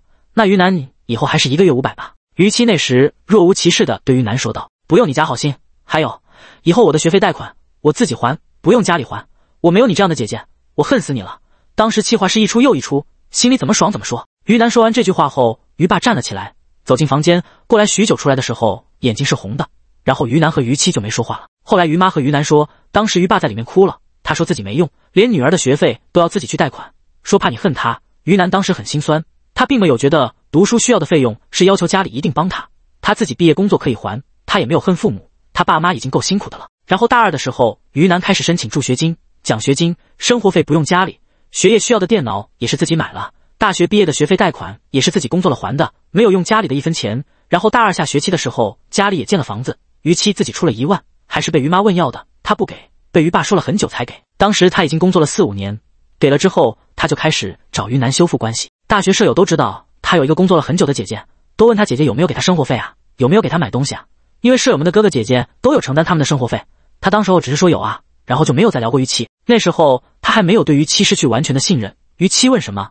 他还是会说，直到于七毕业后谈了一个外地的男朋友，于七的男朋友是公司同事，两人是自由恋爱，当时感情还没有到达不能和你在一起就怎样怎样的那种，当然也是打算长久发展的。于七又一次问于南有没有男朋友的时候，于南说有了，然后把男朋友的情况和他说了，让他先不要告诉父母，等稳定点再说。挂完电话，于七转头就和于妈说了起来。回去过年的时候，于妈就开始叨念，说找个近点的比较好，远了有什么事也照顾不到。于南当时说的是看缘分啊，于爸也说都让他去外地读书工作了，认识的都是外地人，那能怎么办？看他自己的意愿了。后来于七开始频繁的找于南，每次都问他和她男朋友的情况，于南觉得这没有什么，就都告诉了。然后每次第二天，于妈就打电话过来询问，由开始的随便你到你要不要再考虑考虑到你爸说读书都白费了，嫁那么远，再到我们都老了，以后你也嫁远了，我们怎么办？这时候于南才发现，原来于七一直在背后和于妈撺掇着，不让于南嫁远，要留在家里照顾老人。最好是让他找个入赘的。于妈说家里坚决不同意于南嫁那么远的，还说现在你姐都后悔嫁那么远了，婆媳关系不好，老是被欺负。当时于南就只说了一句，过不下去就让他马上离婚。后来于南就和男朋友分手了，生了一场大病，对家里说他以后不嫁人了，就在家养父母。然后他们就开始不说他了。于南整个人呢，被迫长大懂事，他从此不再相信于妻，有什么事也是说一半留一半，他只相信自己。从此他精力好像快被耗光了一样。病一场又一场的来，人也更加的沉默懂事。于南抿了抿嘴唇，擦了一下眼角，呼出一口大气，轻声道：“都过去了，一家人好好的才是最重要，其他的又有什么重要呢？”好了，我去洗澡了，不说了。然后不再看向于七，转身去拿衣服。第五十七章二更。第二天早上起来，于爸想起昨晚的事，尴尬的他一大早上就跑街上去打牌。于南和于七倒是没怎么样，平时怎样就怎样，毕竟大家都是成年人了，总会找到最让自己舒适的方法。这几天越发的冷了。于南都开始把大衣拿出来穿着，家里也开始烧炭。他刚刚去看了一下萝卜，再过十天就可摘了，两个多月就成熟，应该是泡了灵水的关系。下午的时候，他有收到快递公司的电话，种子已经到了街上。于南骑着自行车车摇摇晃晃的向街上去。这两天吃完饭，他都有和于七学电动车，但还不是很熟，不敢开。况且于爸那辆太大了，不适合他。他打算网上买，最近看中了一款史努比的，超级可爱，已经下单了，去了六千元，还没送到而已，就买买菜上街用就可以了。到了街上，他先去喝了一碗豆浆油条，暖暖身子。吃完之后再去拿种子。老板，帮看一下于南的的快递在哪？刚刚打过电话的太多了，于南自己找肯定不好找，直接让收货员帮自己找。等等啊，我看看，于南啊，门口一堆那里就是了，是不是还有桃树的那个？老板看了一下记录，指着门口那一帮给于南看。于南看着门口那一堆，再看看自己的自行车，满脸都是这么多，我怎么拿回去？你最好叫个车来。现在都是冬天了，你买树苗干啥？这时候种怎么种的活？收货员疑惑的道：“那啥，说是反季节的，我就买来试试。”于南心虚的胡说一通：“你肯定被骗了，最好还是找有经验的人多问问，不行就退货。”老板好心的建议道：“行，我回去再问问。我家里有开车来，在外面，我先慢慢抬过去。您先忙啊。”看着三捆树苗，于南拿起两捆，往隔壁的公共厕所走去。那个公共厕所在两个鱼塘中间，鱼塘里杂草长得非常茂盛，非常的高。厕所没人收拾，比较臭。基本没人来，就算有人急，也都是去医院那边的厕所。所以于南把这些东西拿到厕所后，放进空间里是很安全的。搬了几次之后，总算把东西都放进空间，于南松了一口气。这个厕所实在是太臭了，再来几趟他都快吐了。早上来的比较早，于南上肉摊看了一下，发现都是开始摆摊，很多东西都还有。他买了一个猪肚，等会再去拌只鸡做猪肚鸡汤。秋冬就应该补膘。再买了三斤肥肠，于妈做的爆炒肥肠非常下饭，于南非常爱吃，就洗干净太麻烦了。所以于妈很少做。买好东西后，于南再去超市买了一些炖汤要的一些材料。超市里年味已经很足了，再过一个月就过年了。往年这时候，于南还在加班加点的工作，然后手机各种软件不停的抢票。今年他提前几个月回来，真爽。买好东西后，他也不耽误时间，回去还把种子种下，就赶忙回去了。这么早去街上买了啥？有买到那个好吃的菜吗？于妈晒好衣服，刚从楼上下来，看到于南大包小包的拎着，没有，今天人没有来，这几天都没看见人。可能回去过年了吧？我买肥肠，妈，等会你坐一下，我好困，先去补眠了。于南看见于七还没起，正好找了借口进房间。进了空间，因为昨天已经把地弄好了，于南一直把买的蔬菜苗都撒了上去，再用一层薄土铺上。去荷塘哪里打了一桶水，把刚种的都浇了一次水。弄完之后，于南把桃树苗沿着小溪两边开始挖坑种植，隔着两米种一棵。幸好泥土非常的肥沃，泥又细，很容易就挖好一个洞。放入树苗后，就捧着两盆水浇上去。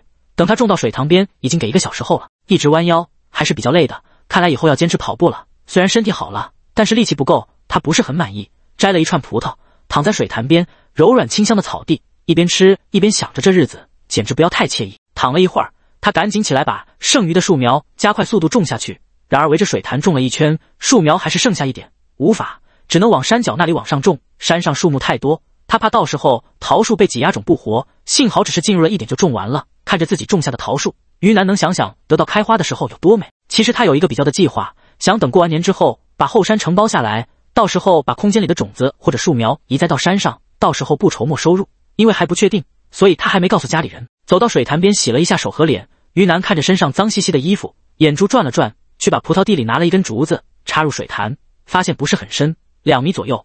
于南直接穿着衣服就跳入水潭，畅快的游了几个来回，把身上的衣服都冲干净了才上岸。出了空间，把衣服换了一下，看着时间还早，于南又转身进去买了房子家具之类的。于南比较喜欢木质的。所以他打算去书简那里查查山上的树木有没有适合的，到时候可以用上。走到简书哪里，于南把手按了上去，出现的是像地图一样的画面。于南找到青山，点击了一下，整座山就被放大，大多都是沉香和檀香以及凤凰的梧桐树，树龄太高，上千年、上万年都有，最小的都是上百年。于南上网查了一下，做一套家具需要多少棵树，然后他看到了一棵上好的沉香上千元，一棵上好的檀香五百至一千元。于南再看看自己满山的檀香和沉香，看是直头晕，全都是钱啊！网上说一套平常品质的沉香家具都要上百万，清早期沉香木雕山水图笔筒估价十二万至十八万元，成交价达到了六十四万九千六百。而且沉香和檀香都有药用价值，非常昂贵。他要是敢拿出去，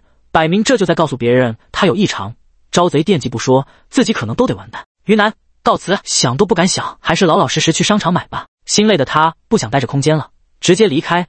空有金山却无法使用，心累啊！于南出来空间，拿着一杯冷水，坐在沙发上恍惚的喝着。咋了？身体不舒服？看着傻傻的。于妈刚把菜端上来，就看到于南愣愣的举着杯子，好久都不动。没事，刚睡醒，有点懵。回过神，于南把水喝光，冷静了一下，不想那么多，等有能力了再考虑那些数吧。下午没事做，于南看着于七带孩子玩，他无聊的很。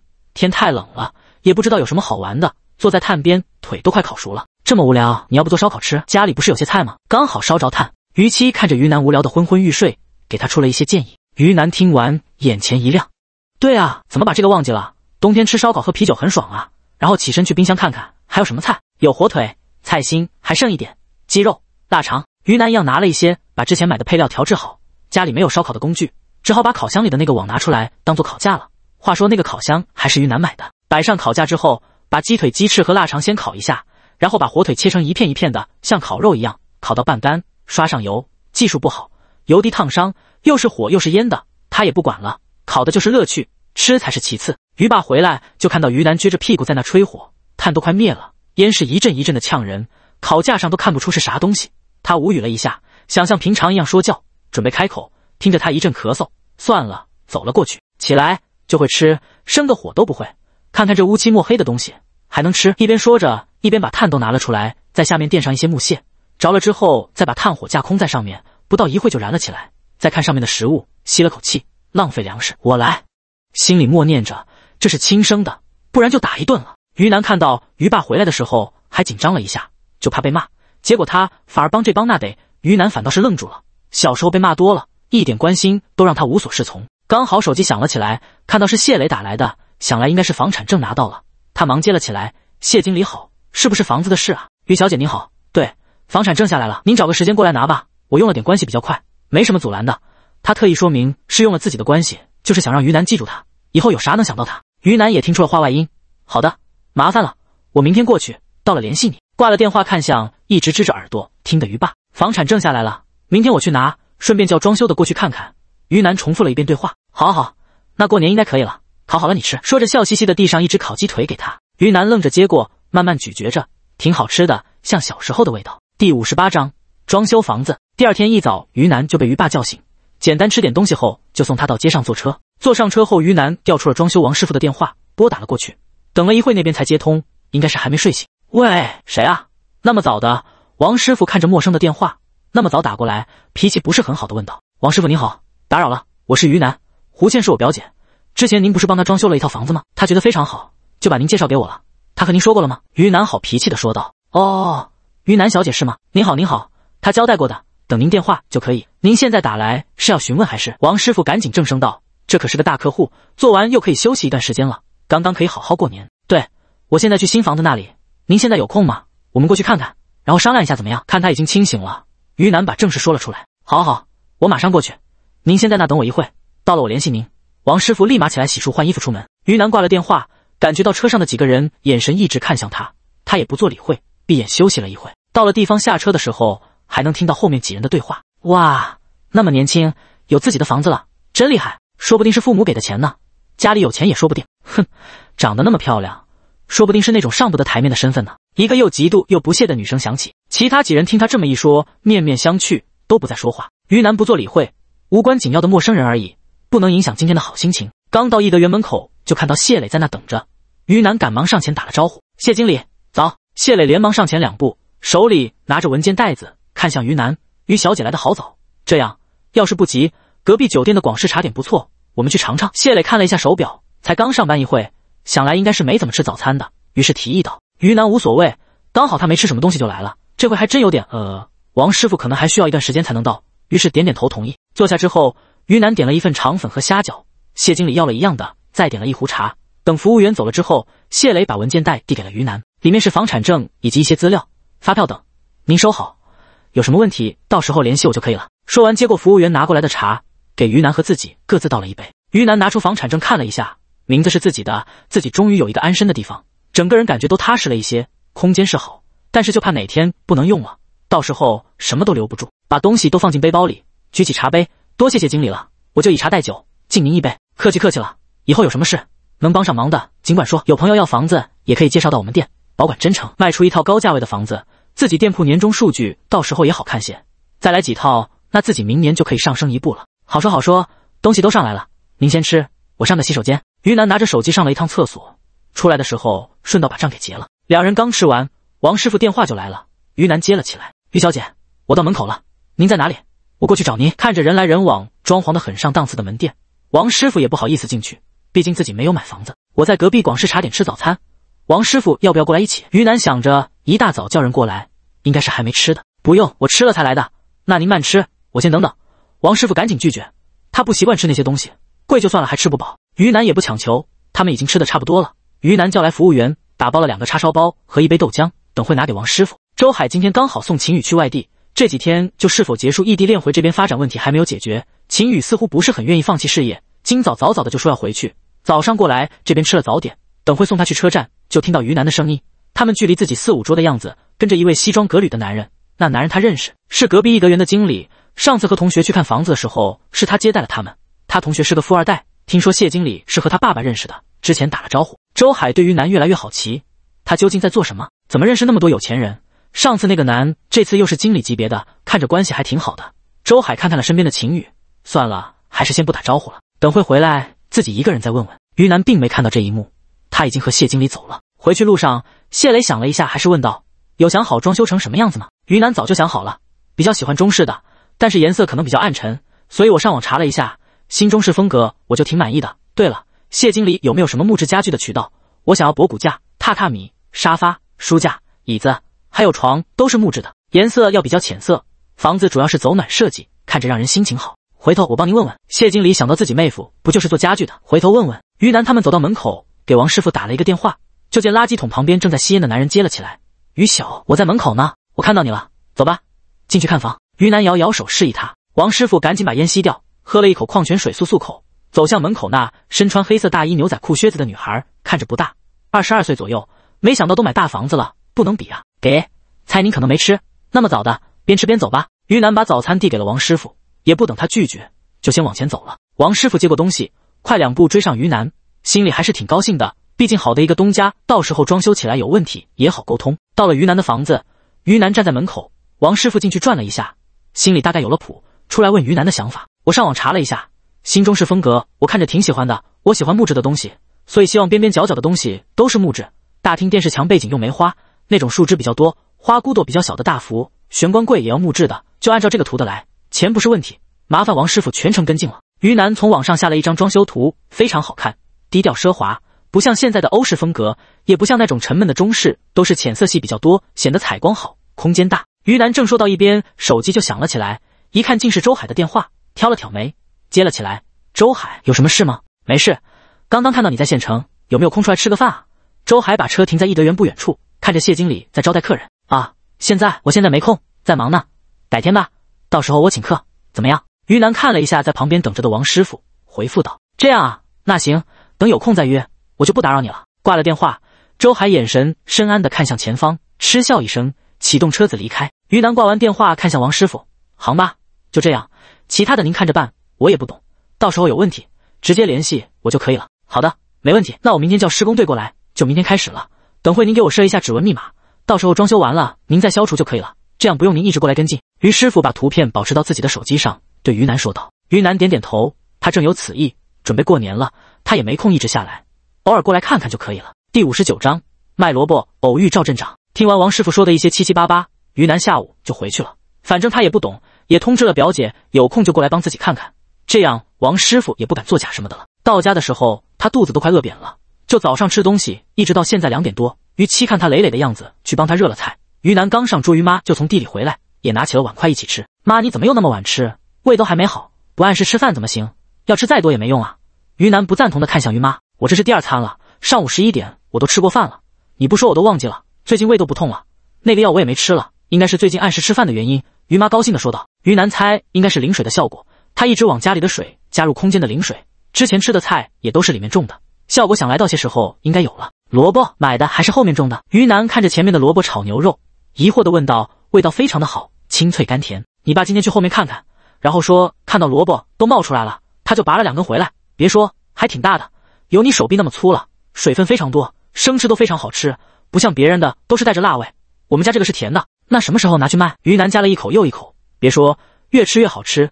他越来越期待以后家里都种着这些空间出品的菜，收入完全没问题啊。于妈算了一下时间，后天吧，后天我们先挑一筐去街上看看，如果可以，那慢慢卖着到年前那一亩刚好卖完。于妈算的好好的，然而却是计划赶不上变化。三天后。今天是红星镇的节日，于妈一大早六点就起来去后面的地里拔萝卜。早上的泥土还是湿的，露珠都还没干。于南在于妈到地里半小时左右也赶了过来，穿着雨鞋，戴着手套，一拉一个萝卜。萝卜长势非常好，弄了一个小时，把两筐装满，才去了半行。一亩地一共十二行，两行被拿来种豌豆苗，其他的都是种上萝卜。按照于妈的计划，确实可以拔到年前。弄完之后，于妈挑回院子，于南拿了一个大盆，把萝卜一个一个的给清洗掉沾上的泥土。再一个一个得垒好，放进筐里。这时于爸也起床了，等会还得他拉到街上，快洗脸，我们去早点才能站到好位置，不然后面去都不知道放哪里。于妈看着于爸，慢悠悠的就来气来了来了，我先给你们拉街上去，回来我再洗脸可以了吧？于爸一边把三轮车开出来，一边嬉皮笑脸的对于妈道。于南去拿了秤砣和塑料袋，这些家里一直有准备，不用临时去买。然后和于妈一起坐上了车，到街上的时候已经开始陆陆续续有人来了。于爸把车开到菜市场，找了一个入口的空旷位置。里面的位置比较小，都是给那些菜不多的人卖的。外面都是卖鱼的比较多。于妈下去在地面铺了一层干净的塑料袋，然后把萝卜一个一个的捡出来摆放好。要是往常的菜，早就一篮子倒出来了。这次的萝卜比较脆，可不敢这样子。于南趁着于妈在忙，他忙去打包了两碗粉，不然等会人多起来就没时间吃东西了，也不知道卖到什么时候，饿过头就不好了。等于南打包好回来的时候，于爸已经回去了，只有于妈还在摆弄。妈，你先吃点，我来弄，等会人多你来刚好。于南自己没有叫卖过。也不懂怎么卖，只能先帮点忙了。于妈想着等会还要力气叫卖，觉得女儿说的对，也就不再纠结了，让于南先摆放，他把粉先吃了。于妈一边吃着，一边和旁边卖西红柿、辣椒的人交谈：“大姐，现在场地费要交多少钱啊？一天场地是要交钱的，按天算，以前是两块，现在不清楚多少了。”旁边的老奶奶看于南家的是萝卜，和自己没撞着，也乐得和于妈交谈。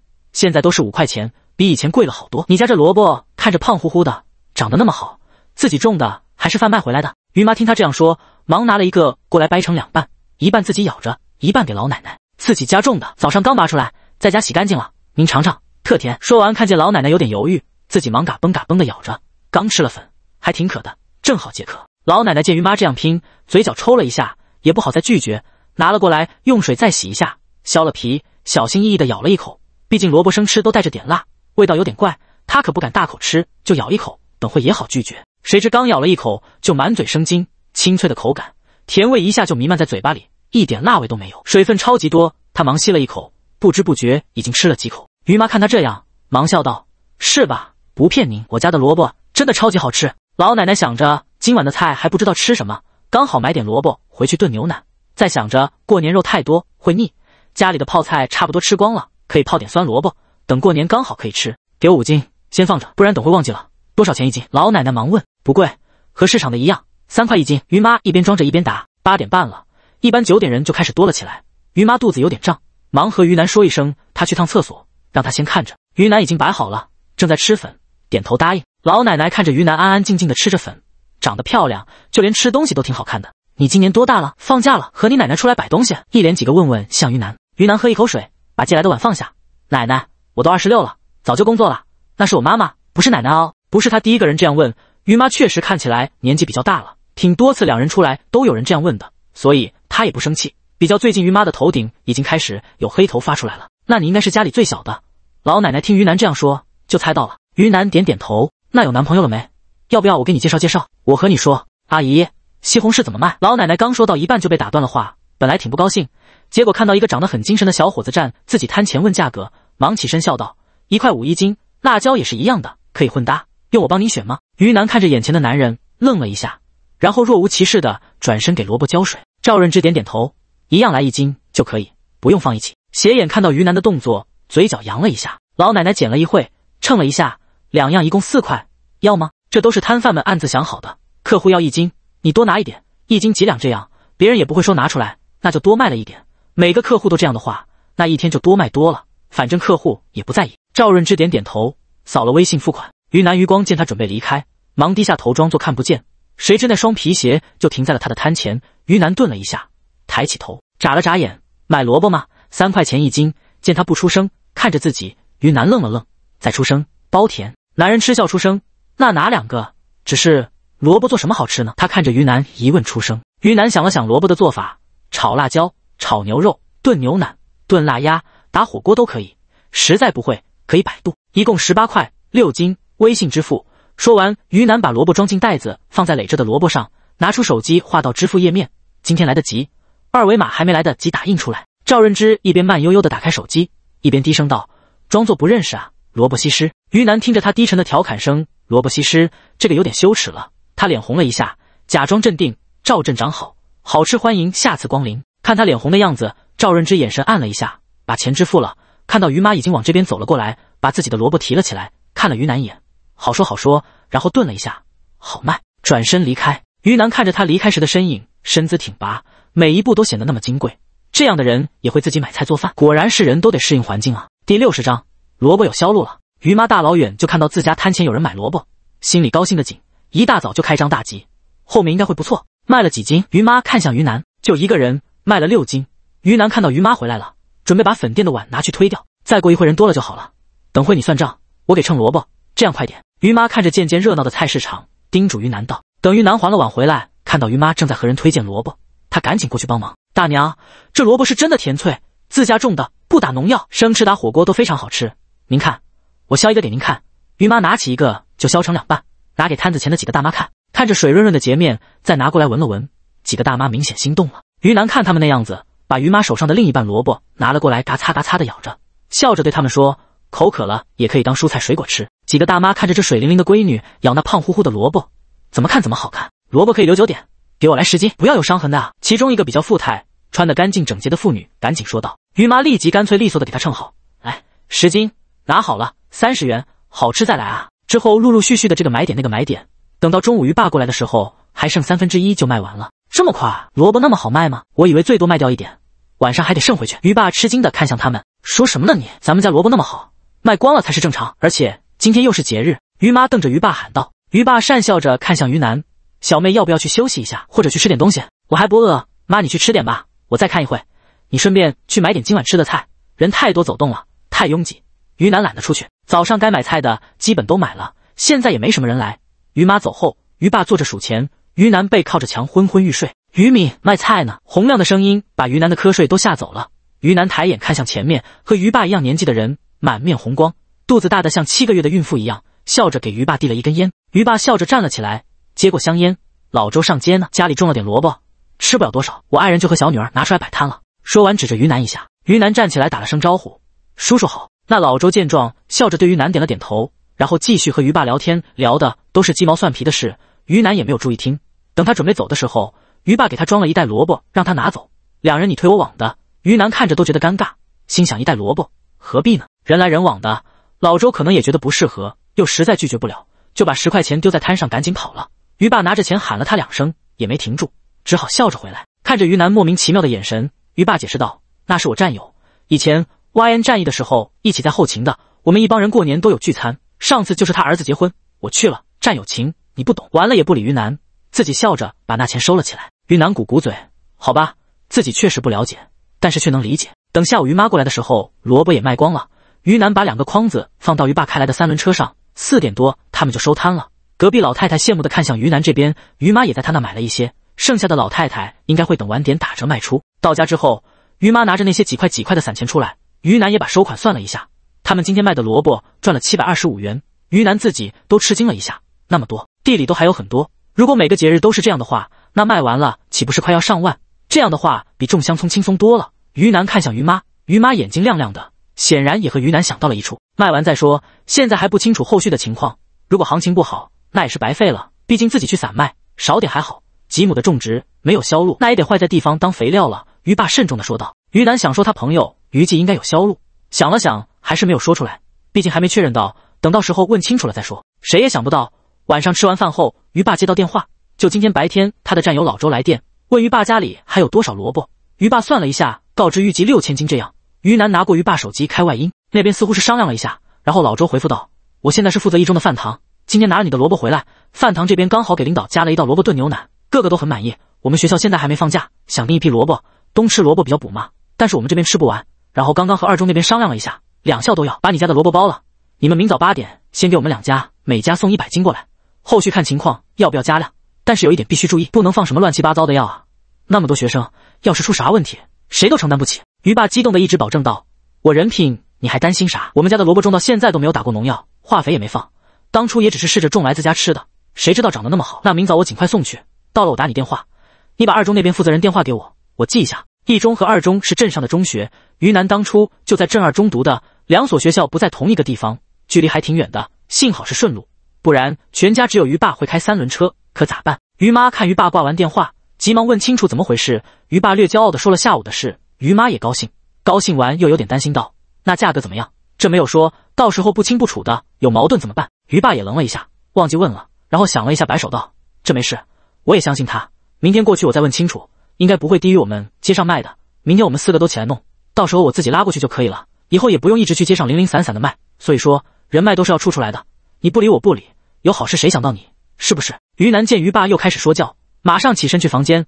他这一说就会说个不停，也就只有于妈肯听。第六十一章卖人参狱中老秘密。第二天，于爸拉萝卜回来的时候说价格定在三块一斤，如果学生反应好，那后续可能会多个五毛。这样见结果是自己满意的，于妈就不再纠结了。每天早上都早早起来拔萝卜。于南怕他们吃不消，又多加了一点空间水放进家里常喝的矿泉水里，每天早上都带着到地里给他们喝。就这样拔了三天，第四天于爸回来就通知他们。每天要多加三百斤了，原来是学生反映萝卜做的菜特别好吃，中午吃完晚饭还想吃，但是一百斤的量也只能够吃中午的。于是他们决定向学校多加一百斤。刚好老周的妹夫在镇政府的食堂工作，回家听到他妹提了几次，也想要一百斤。那总共加起来的话，一天就要五百斤的量。他们家四个大人要在八点拔够五百斤，是有点困难的。没办法，于妈只好回娘家那边叫舅舅和舅娘一起帮忙。于妈是嫁在自个村的。所有娘家也就一千米这样的距离，非常的近。多加了两个人，大家都感觉轻松了一点。每天五点多起来，于爸和于妈和舅舅负责拔萝卜，于南和于妻和舅娘负责洗，并且装入筐子里。就这样一直持续了十二天，总算拔完了所有的萝卜，当然还剩了半行留着自家吃，一共是六千六百斤，赚了一万九千八百元。就这三个月的时间，于妈非常的激动，当天就去买鱼和半只羊，羊肉炖萝卜，六个人吃的满嘴都是。舅舅和舅妈走的时候。每个人给了五百元，因为不是干一整天，就两个小时而已，其余时间也不耽误他们自己的活，所以工钱这样算下来还是高了。村里都是按这个规矩来的。当然，每天他们回去的时候都拎着鱼爸给买的各种肉水果回去，一天没有停过。这个待遇说真得，就于南的印象里，别人家都是没有的。萝卜卖完之后，于爸又把地重新翻新，那些叶子都让他们烂在地里当化肥，争取开春再种其他的。于南休息了几天，就去了一趟县里，看看王师傅装修的怎么样，还有家具的事。期间，于南在家也有和王师傅说过，房子空间要有书香味，不求复杂，追求空间的舒适，能让人冷静下来的意境。用实木地板、艺术涂料、浅色系的材质，能提高空间的亮度，让心情自然轻快起来。就像图片上的特别温暖质地的天然木皮地板，家具白色的天花板和墙面自然交融成一片，酝酿出淡雅的惬意感。因为是新中式，空间简单干净，不特意雕刻某个块面，都是采用点线面的穿插变化。尽量让空间高亢通透，依靠材质工艺去体现空间的质感。但是该打的柜都打上了，沙发、灯具、配饰都尽量素雅富有禅意，来打造低调含蓄宁静的感觉。王师傅说，那样一套下来的话，装修可能会在二十万左右。于南稍微心疼了一下，但是想着以后可是会经常住在这里，按自己的喜好来才是最重要，于是也答应了。上次来的时候还是毛坯房，现在过了半个月，户型有轻微的改动，水电什么的也弄好了，墙面也刷好了，地板还没铺。其他的边边角角也还没弄好，等所有东西都弄好，家具之类的就应该摆放了。看着这进度，于南很满意。距离过年还有二十天，这样应该够了。于南联系了一下谢经理，他今天正好好休息，带于南去他妹夫那边看家具。因为之前有说过是要木质家具，所以目的比较明显。他们直接就到了那边的家具市场。谢经理的妹夫已经在那等着了，看到于南他们过来，忙微笑的带路。于南有自己的想法。根据装修的风格，他想要黑檀木的那种颜色家具，并且希望是镂空的，像酒柜、博古架、书架、衣柜、床、榻榻米、沙发、饭桌和茶桌等等，希望是全套一样的。于南把这个要求和谢经理的妹夫说清楚。谢经理的妹夫皱了一下眉头，说道：“可能没有全，我们需要去调度过来，因为没人要过那么全的。现在要的话来不及了。这边有一套客厅的比较全，您可以过去看看。无妨，我现在不急，等二十天的样子应该可以到货了。”到时候我再拿就可以了。于南一边走一边答道。拐了一个弯，走进一家比较有名的店铺。谢经理的妹夫指着一套相对符合于南要求的家具，让于南看看。于南看了一下，黑檀木色确实比较沉淀大气，想来也不会便宜到哪里去。于南问了一套的价格，店铺里的经理拿着计算机把于南要求的都加上，然后说了一个数字，三十万左右，终身保修。而且到时候安装或者摆放家具的时候，我们会安排一个设计师一起过去，直到您满意为止。于南心抖了抖，首付三十六万。装修三十万，家具三十万，看来又得去卖人参了。最终还是咬了咬牙，定下吧。全都到了之后联系我，我先走了。交了一半的定金，再不走他就后悔了。他没看到谢经理他们看他的眼神，简直是金大腿呀！看来当初交好的决定还是对的。几个人越发的热情。于南受不了这种变化，心里有事。告别他们之后，就自己打车去市区看情况，要卖个年限大点的人参，不然一直卖容易惹人怀疑。最后决定尽快把赚钱的事情安排上来。他去商业街买了一顶假发，还买了一套苗族人穿的服饰，然后去厕所把自己画的就像经常在太阳下暴晒导致斑点很多的样子，让人一看就是大山的女儿那种形象。进空间挖了一个比第二次拿的还大点的人参，然后坐上公交去之前卖人参的老地方。到达仁心堂之后，于南本来想速战速决的，但是在他刚进去的时候就看到钟老从里间出来。于南顿了一下，若无其事的看看架子上的各种药材。虽然他对自己画的妆有信心，但是万一呢？万一被看出来，那之前做的都将会被发现，到时候怎么办？所以只能格外的越发的小心为好。刚好隔着一排药架子，于南听到那边偶尔传来什么“金氏要不好找，帮忙留意，争取尽快补全，时间不多了”之类的。于南听到这就知道应该是不能为人知的秘密，怕被发现，于南只好快速走到另一排，等钟老走了，才松了一口气。发现大冷天的后背都湿了。第六十二章卖人参赚大钱。于南看见那药师似乎还没走，而且和上次那个人不一样，整理了一下衣服，忙走了过去。您好。请问你们收药材吗？特意表现出没见过什么世面的小心翼翼的眼神看向他。李云刚把钟老送走，准备回去查看库存，就看到疫苗寨装扮的女子走了过来。见他小心翼翼的样子，忙笑着看向他：“收的，你要卖什么药材吗？”李云今年四十岁，仁心堂全国负责人，李国一最小的儿子，李诗雨的弟弟，赵润之的小舅舅。因为上面那位现在正是其父亲在医治，稀有药材太缺，本身他需要什么药材，可以直接电话联系个分店核实库存的。但是现在特殊时期，他家稍微一点动静就被其他人知觉，所以没法一下调动那么多人去核实。他花了一个月的时间前往各地看看，以突击检查贪污为由前往各分店。L 是这个是他最后来的一个分店了，昨晚刚到，今天钟老就过来询问。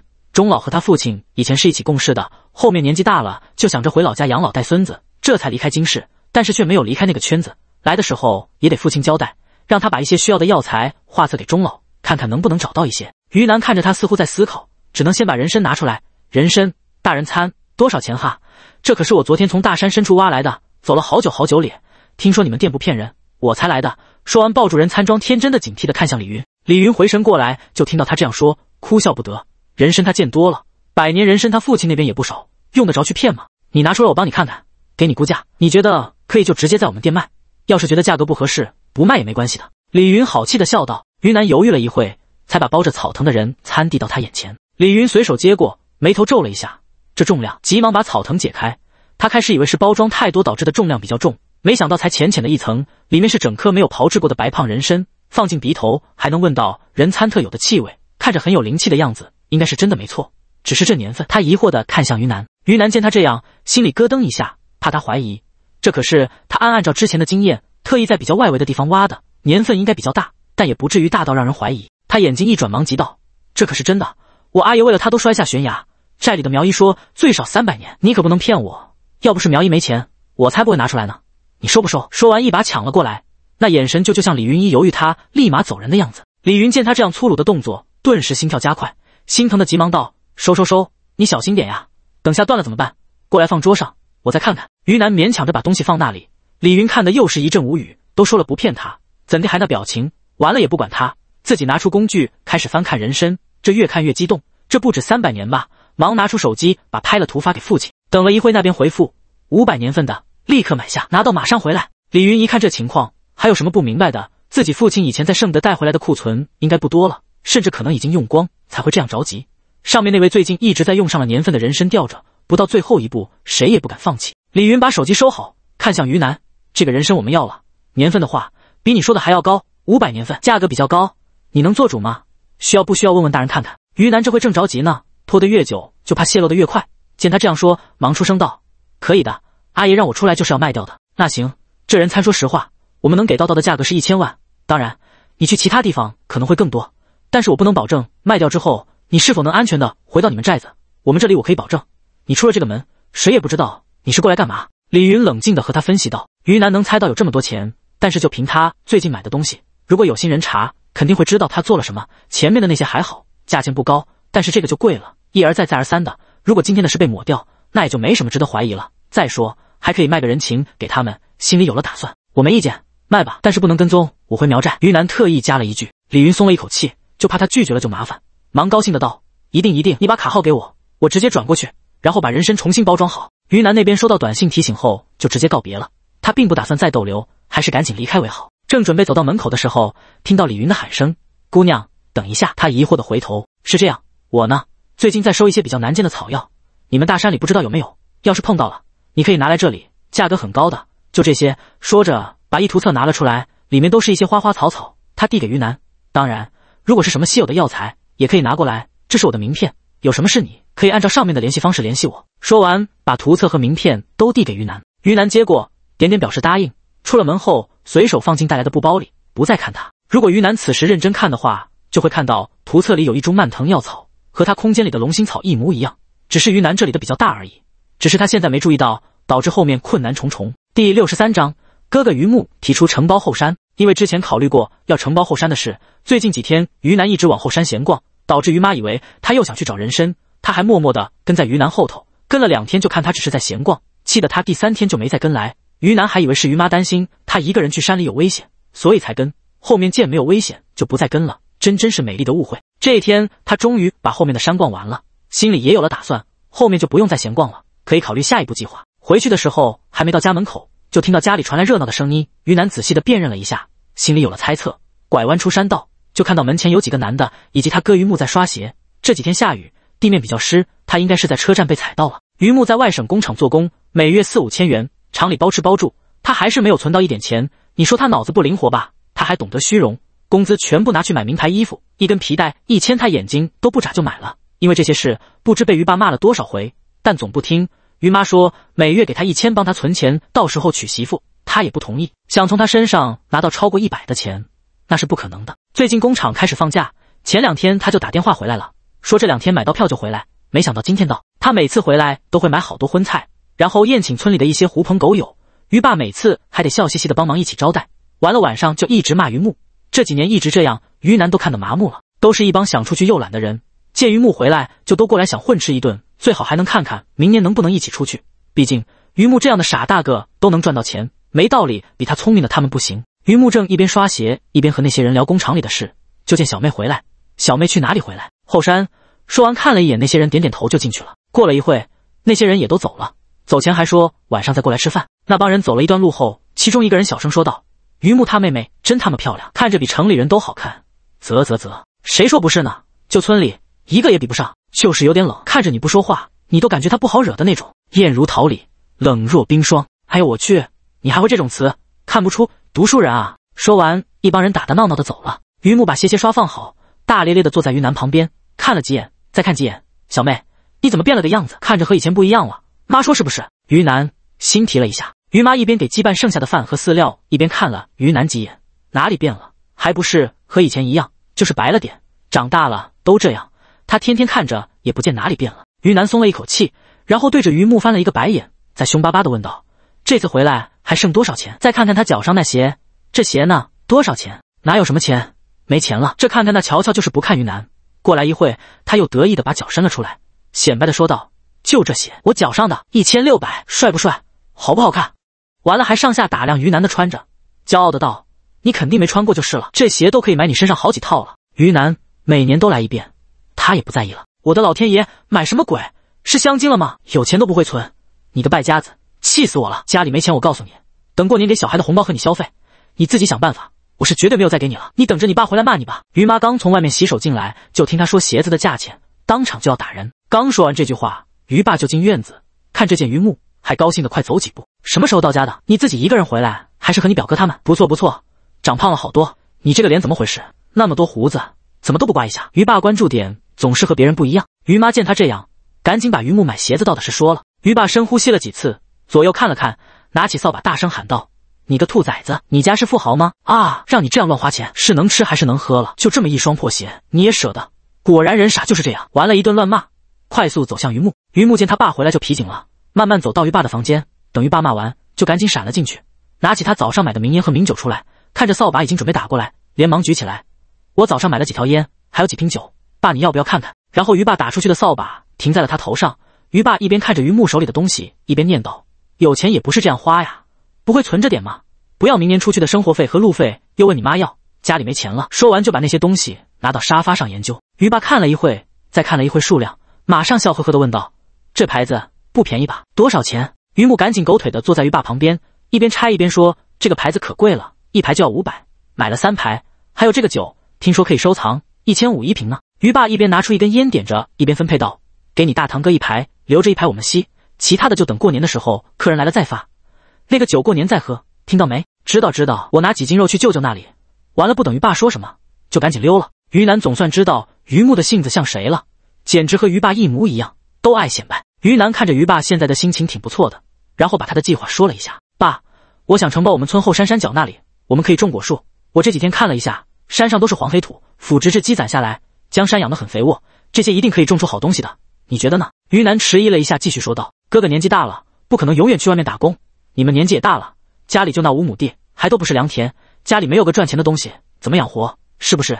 要是把山承包下来，承包个五十年，种水果，种蔬菜，你想想那个萝卜，我们也可以再种，种子到时候我去买，我有渠道，保证能种好，到时候这个山脚就是我们家的财富了。于南把什么都摆明面上来，说完看着于爸，于爸刚听的时候惊为天人，承包山，这在村里从来都没有的事，小女儿胆子也太大了。但是后面又听到他说的那些，不服老不行。于南也不可能不结婚，到时候他们老了，于木一个人怎么办？有个赚钱的地方，还能保他后半生。其实他是有点心动了，晚上再说，我考虑考虑，到时候全家一起商量。说完，满脸惆怅的走了。第六十四章承包后山成功。晚上等那些人吃饱喝足走人之后，全家都在沙发上休息。于南把电视声音调小了，看向于爸。于爸见于南这样，就反应过来了，咳嗽了一声，坐直身体。我这里有个事要和大家商量一下。小妹提出想承包山脚那片地，种植水果或者蔬菜。我考虑了一天，是同意的。你们没有什么想说的？于其首先发言，我没意见，我也没什么能帮得了的，就是还有一股力气可以帮忙了，不嫌弃就好。他算是看出来了，这个家还是小妹比较靠谱，比较有魄力，能成大事，自己不添乱就好。于妈忧心忡忡的看向于霸道：“那价格多少？承包多少？家里钱够不够？我下午去问了村长，后山五十块一亩，五百亩相当于两万五千一年，十年就是二十五万，五十年到期后可以优先给我们续期。嗯，乐意先付五年的租金。我想着五年就算种植水果也可以回本了。他今天下午听了于南的话后，就去问村长了。村长很高兴，后山都荒废着，没人种植，年轻人都出远门打工，留守家里的也没几个有多余的时间去开荒。于爸这么一提，村长就说争取给最优惠的价格。我之前在外面工作，认识一个专门研究种植的人。上次那个萝卜种子泡的水，就是我问他怎么配的。到时候后山所有种植的东西，我都给泡上，所有不用担心养不活，只要我们肯干，一定会赚钱的。于南继续游说着：“我们家什么时候那么有钱了？卖葱花也没有几十万吧？”于木疑惑的问道，看着家人轻轻松松的说着几十万、几十万的，他都愣住了。之前你妹妹在山上挖了一颗人参，家里卖了四十万，加上家里剩下的，大概有五十万左右。于爸看了他一眼，再看看于妻，然后解释道：“四十万。”可以买房子、买车子了，怎么承包山？他那种“你们是不是傻子”的眼神，让于霸气的想打人。你就知道买房买车，你什么都不会做。以后我们老了，难道要让你妹妹养你吗？于霸气极了，扶不上墙的蠢货，只知道买这些没用的。于木瞪大了眼睛，自己脑子不好，以后老了不就是妹妹养吗？看向于南，满脸都是疑惑，难道不是吗？于南看他这样要笑死，跟他慢慢解释道：“我结婚后忙自己的家庭，忙自己的工作，就算嫁得近，可是也不会时时回来。”你没有养活自己的能力。假如爸妈不在了，如果我是个好的，也许会每周回来看你一次，给你生活费。如果我是个不好的，或者婆家有意见了，那我可能就一年就给你一点点钱，甚至不给。你有脸去我家要吗？伸手要钱不要脸的日子，你没关系吗？见他满脸纠结，于南在轻声道：“如果我们承包了后面的山，种得好，每年都有收入，你也可以不用出去打工，爸妈也不用那么累，也不用每天都去看。我们承包五十年，那地都是我们的，我们这里出去交通也方便。到时你和爸一起送货。”我不相信你不想做。果树每年都有收获，蔬菜一年收获几次？到时候车子、房子什么没有？于妈想说什么，张了张口，最后还是狠心不说。于木听妹妹这样讲了，眼睛一亮，顿时大声道：“我也同意。那爸你尽快去包下来，不要被别人提前了。”当晚，于爸就去村委会那边商议，于南和于七两人就一起查了一下山地承包的相关法律法规以及可能存在的漏洞。到了晚上十点多，两人才确定了合同的范本。第二天，于南和于爸一起拿着合同过去村委。村长接待他们，这是后山的地图，你们看看是要承包哪里？村长把地图摊开来，让于爸近距离看着。于南走上前，把自己想要的那一部分圈了起来，告诉村长：“我们要这一部分，右边的山，右边的山不能砍伐，不能种植，这我们可没法答应，村里也不会答应的。”村长吓一跳，右山从祖上就传下来的规定，不能动。于南淡定的看向村长：“放心吧，我要的是从我家后面开始，一直往上到达密林处，我们不深入，就只要山脚。”以及往左边半山腰往下到达水利那里，一共五百亩的样子，绝对符合规矩。到时候我们还会把山路修整出来，还会围上篱笆。村长看于南画出的地方，确实没有到达密林，那地以前还有老人耕种过，确实可以。他点了点头。那按昨天和爸商量好的，一亩五十元，五百亩要先交十年的租金，大概是二十五万，这没问题吧？于南看向于爸，于爸忙上前，可以的，没问题。那相关合同什么时候签呢？我们做不了主，要去县里的土地局签才可以。我打电话问问。村长高兴的出门打了个电话，之后就回来高兴的说道：“那边说今天下午就可以去签订，我们现在就去。”于爸没问题，和他去了。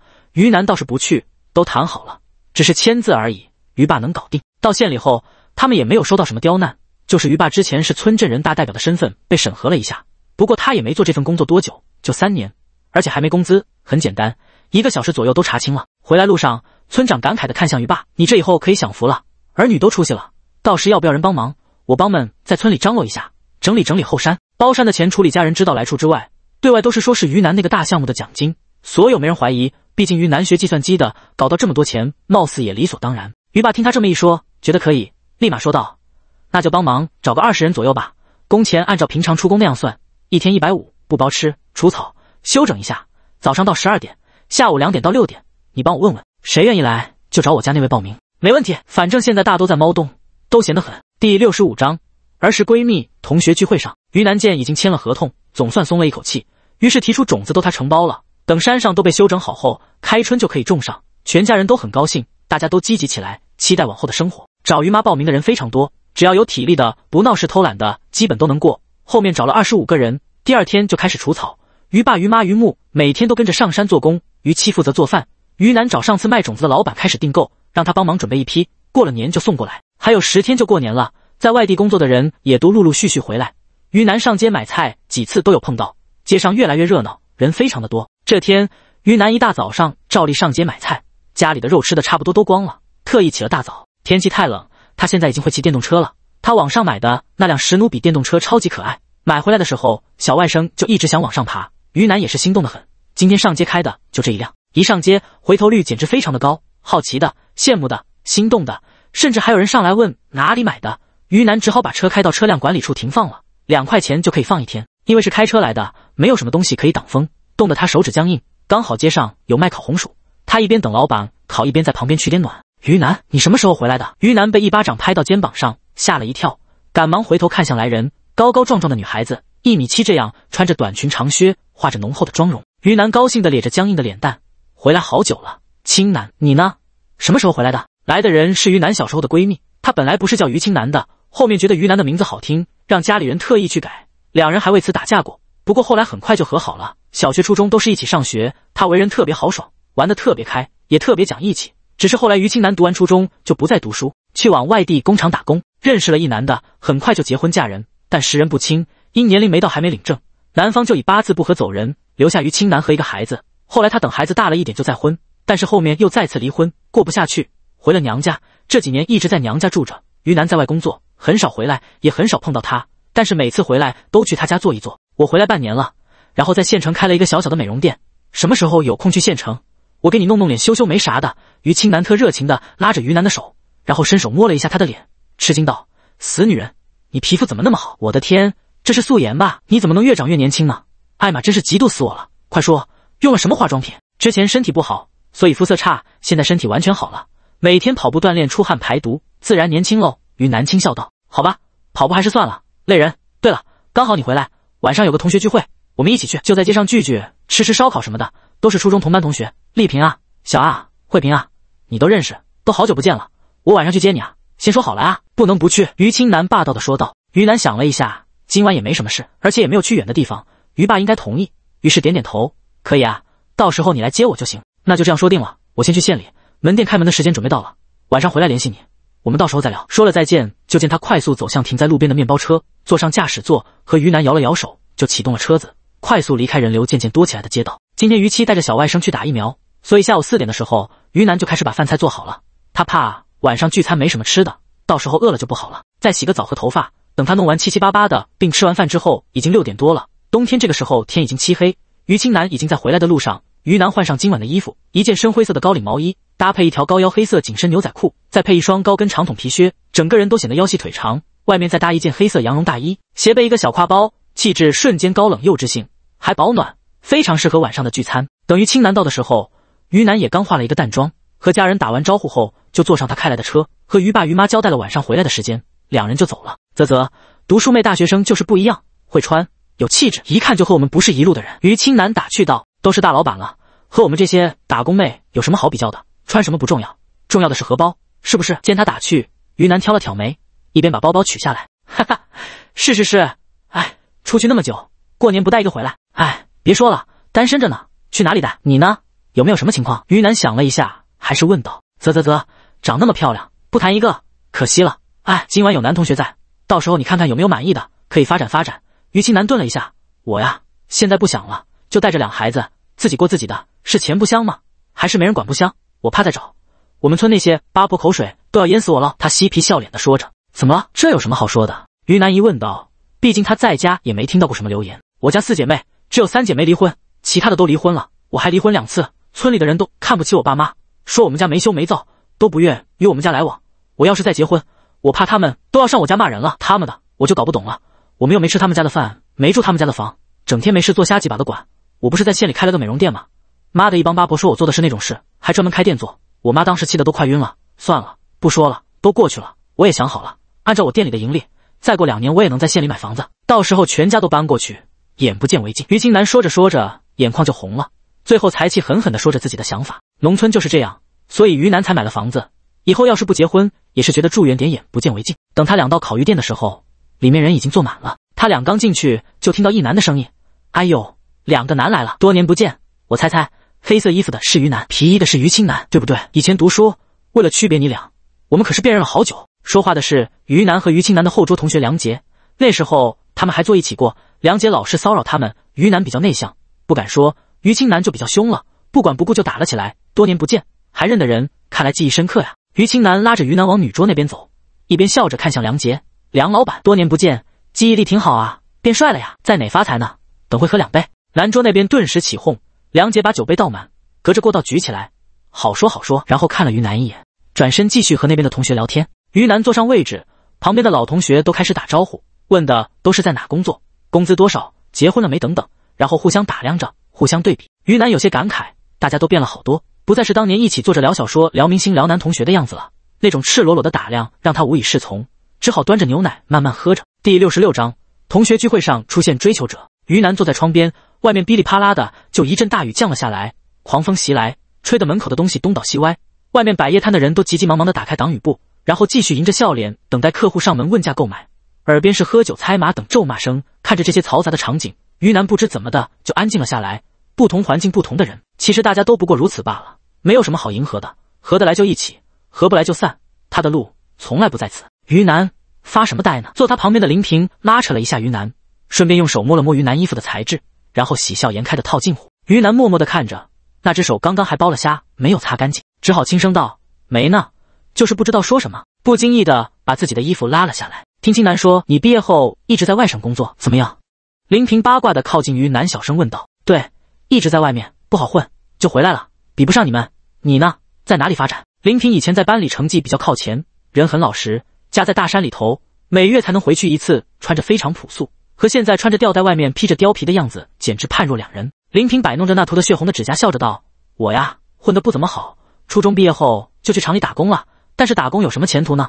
做了一年就回县里发展了。”消费高，工作低，活不下去就结婚了，然后和我老公一起开个小店卖衣服，一直到现在。说完，挑了挑那画的鞋长的眉，扭着身子靠近于南。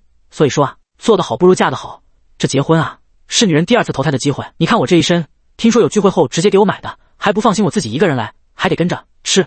男人啊，啧啧啧，诺。南桌那边那个穿西装的就是。说完，靠在于南身上，捂着嘴巴，略得意的笑。于南看向南桌那边，看着林平的老公，长得矮小，中年男人的油腻啤酒肚他都有。样子很普通，他能和全桌的陌生人打成一片。就这一分钟时间里，就有好几个和他交谈喝酒。他拉着于青南在那里交谈，也不是说了什么，逗得大家哄堂一笑。于南觉得他有着商人的精明，是不是长得很普通，甚至是丑？林平见于南望向那边，不在意的出声，然后坐直身体，拿着酒瓶给自己倒了一点，看向于南。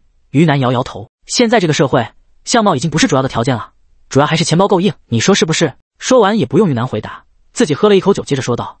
听说你还单着，要求不要太高了，有钱就行了。梁姐，你记得不？就你们刚来的时候，那个出声打招呼的，中午从于青南那里看到你的照片，就一直嚷嚷着要追你。他家里在县城有一套房子，父母都在街上有摊子卖水果，自己呢在县城做销售，一个月也有万把块。这一看到你就心动了，所以你得抓住这个机会。这一桌啊，说着指了指女桌这边，好几个都看上了，只可惜梁杰要求比较高，所以你懂得。说完，暧昧的碰了碰于南的肩膀。于南，于南尴尬的笑了笑。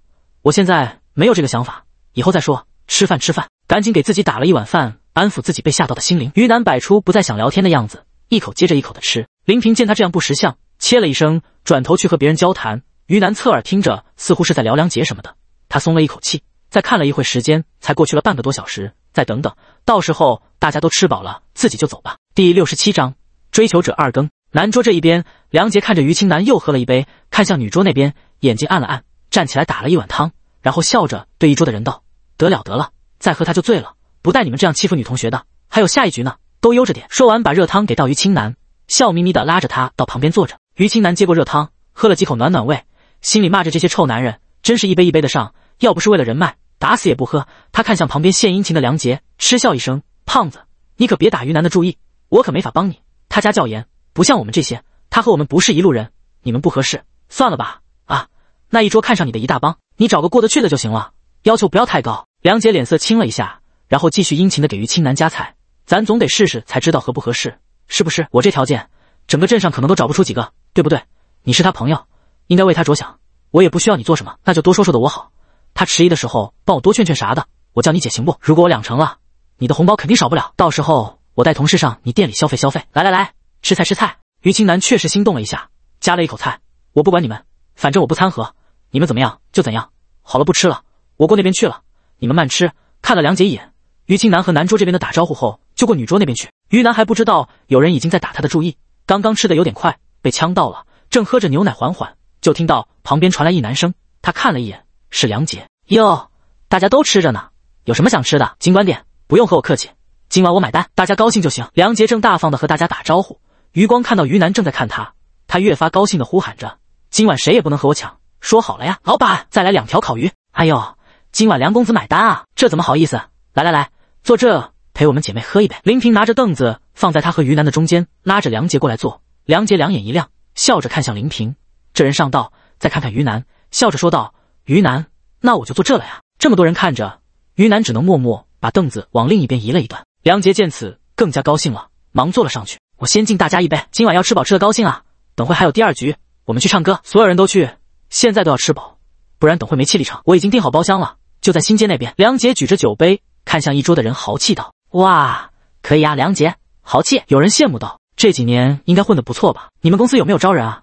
带我们姐妹几个啊？”有人打着小心思起哄：“缺不缺女朋友啊？你看我怎么样？”有人开着玩笑道：“梁杰敷衍道，去嘛，我们公司就那保险公司，刚去都要跑业务的，三年后就基本稳定，不用跑，等着老客户上门就可以，工资稳定。要去的，等会走的时候加我微信，到时候说烤鱼来了，大家先吃着。”见此，个个都开始动筷子，傻子才想去跑业务。累死个人！梁杰见于南不动筷子，咳嗽了一声，轻声问道：“是夹不到吗？用不用我帮你？”于南尴尬的笑了一下：“不用，我已经吃饱了，谢谢。”梁杰见他没有不理自己，越发高兴的道：“这样，我听于青南说你回来家发展了，是不打算出去了吗？”“对，不出去了，不出去挺好的，我们这边发展的也挺快的。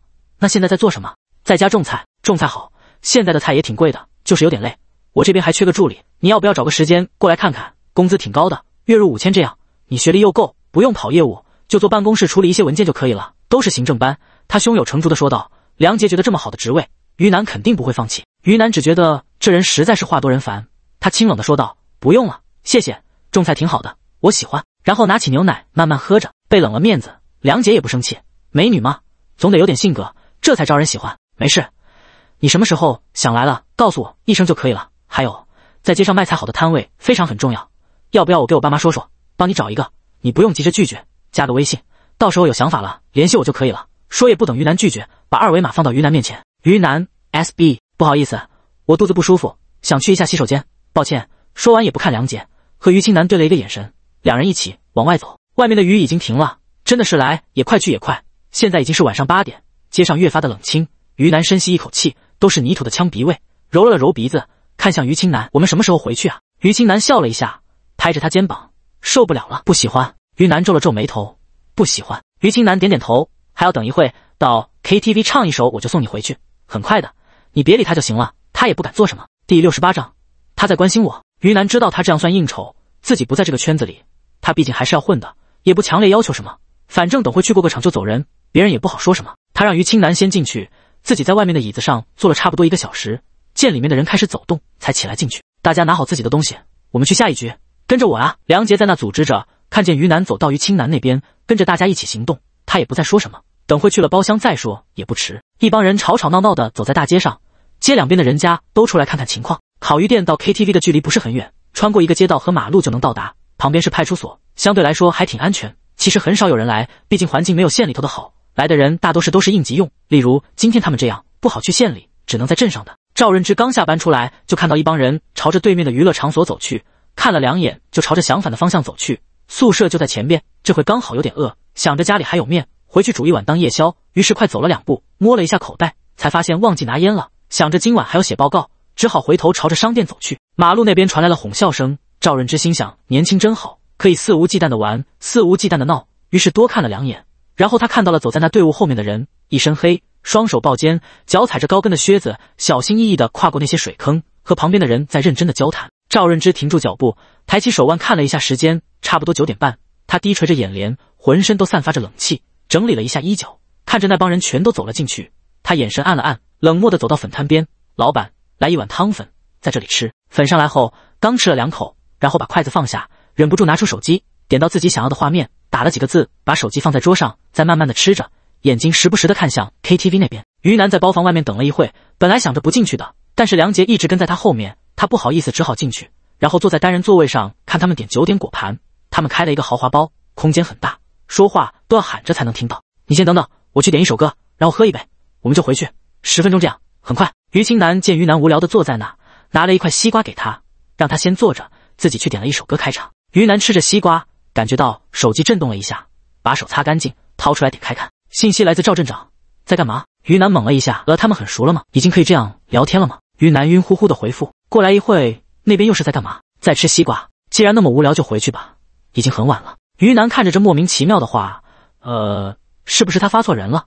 然后回复道。赵认之看着他一直发问号，只好无奈的回复：这么晚了，在 KTV 不安全，等会回去也不安全。你出来，我送你回去。我在对面的粉店这边。于南看着他关心的言语，心里悸动了一下，好像除了爸妈，还没有谁担心过自己晚回去不安全。他在关心我。于南，走了，别玩手机了，我们现在走，不然等会他们就不让走了。于南还没回复，就被于青南拉扯了一下，赶紧起身和他偷溜出来。我喝酒，你会开车吧？你来开，到村口我放你下来，我姐在那等着，到时候她会送我回来，我还要赶这一场。于青南一边走一边回头和于南说道：“好，可以。”于南刚发完信息，见此点头。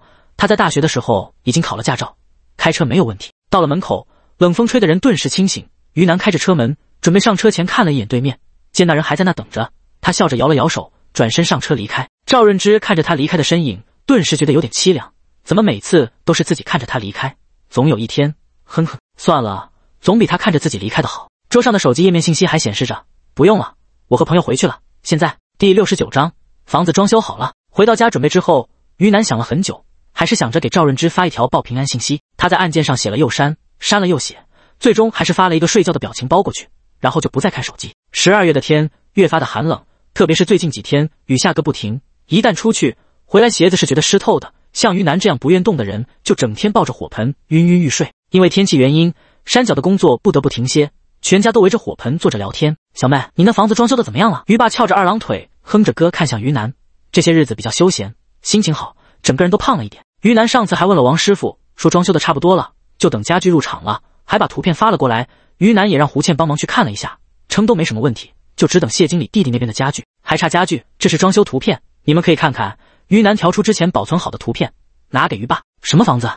谁买的？小妹买？你赚了那么多钱啊？于木吃惊的看向于南。哦，他就说好像忘记什么了，原来是还没告知于木他买了房子，忘记和你说了。我在县城易德园那里贷款买了一套，有空你可以去看看。我靠，厉害，有钱人啊！到时候我去住几天。啧啧啧。你真的太厉害了！于木兴奋地站了起来，快发个图我看看，实在太牛了！多少钱？首付三十多万，去住可以，但是不能带乱七八糟的人去，不然以后不让进。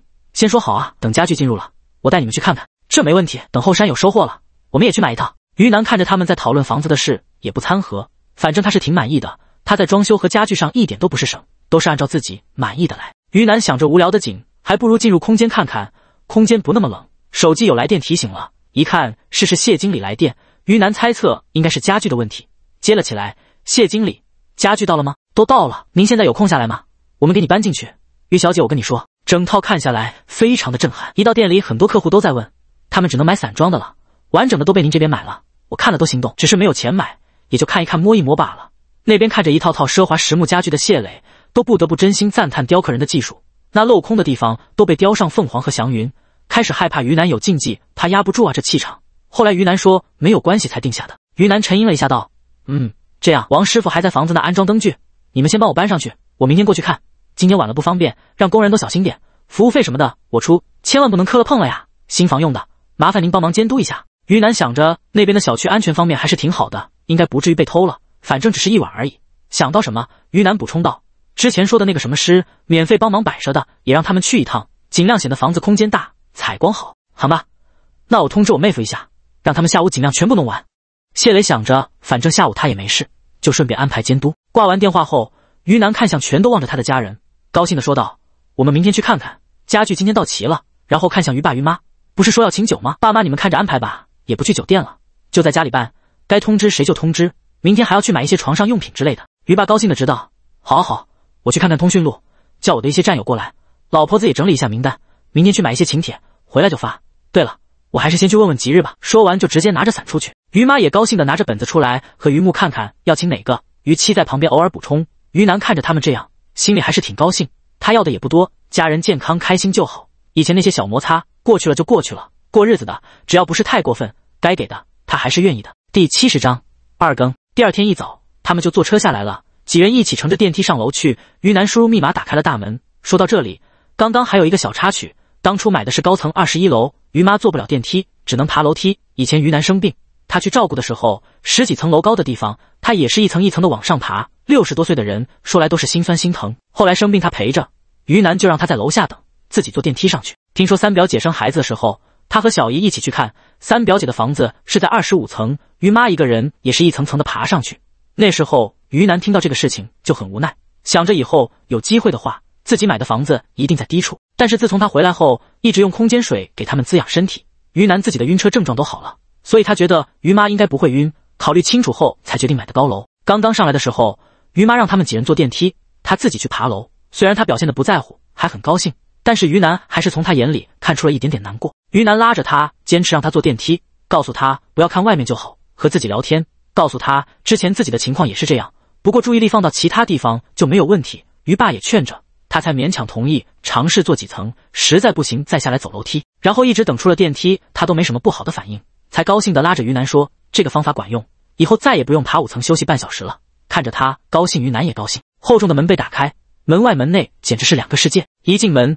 地上铺的是光滑的花砖，进门两边，一边储物柜，柜子上都是挂钩，下面是可以伸缩的长椅，对面是落地镜，还有一排鞋柜。再往前走就是玄关柜，有点类似博古架，每个格子都放着绿植。往前走四米的样子，视野变得非常的开阔。大大的客厅铺满了木地板，一整套的木质沙发摆放的非常有特色。宽旷的电视墙是米白色，上面铺着的几枝梅花，把整个房间都衬得年轻了些。往前的飘窗还没有装上窗帘，视野非常开阔，采光非常好。左边空旷的地方摆放着原木桌，餐桌是于南买的那套木质配套，椅子六个太师椅。再往里面一点，由玻璃门隔着的是开放式厨房。右边进去就是三个房间和一个书房，每个房间都有配有卫生间。里面的家具、床具、书架都是于南买的那一套，看着非常的奢华。小妹，你这装修和家具得不少钱吧？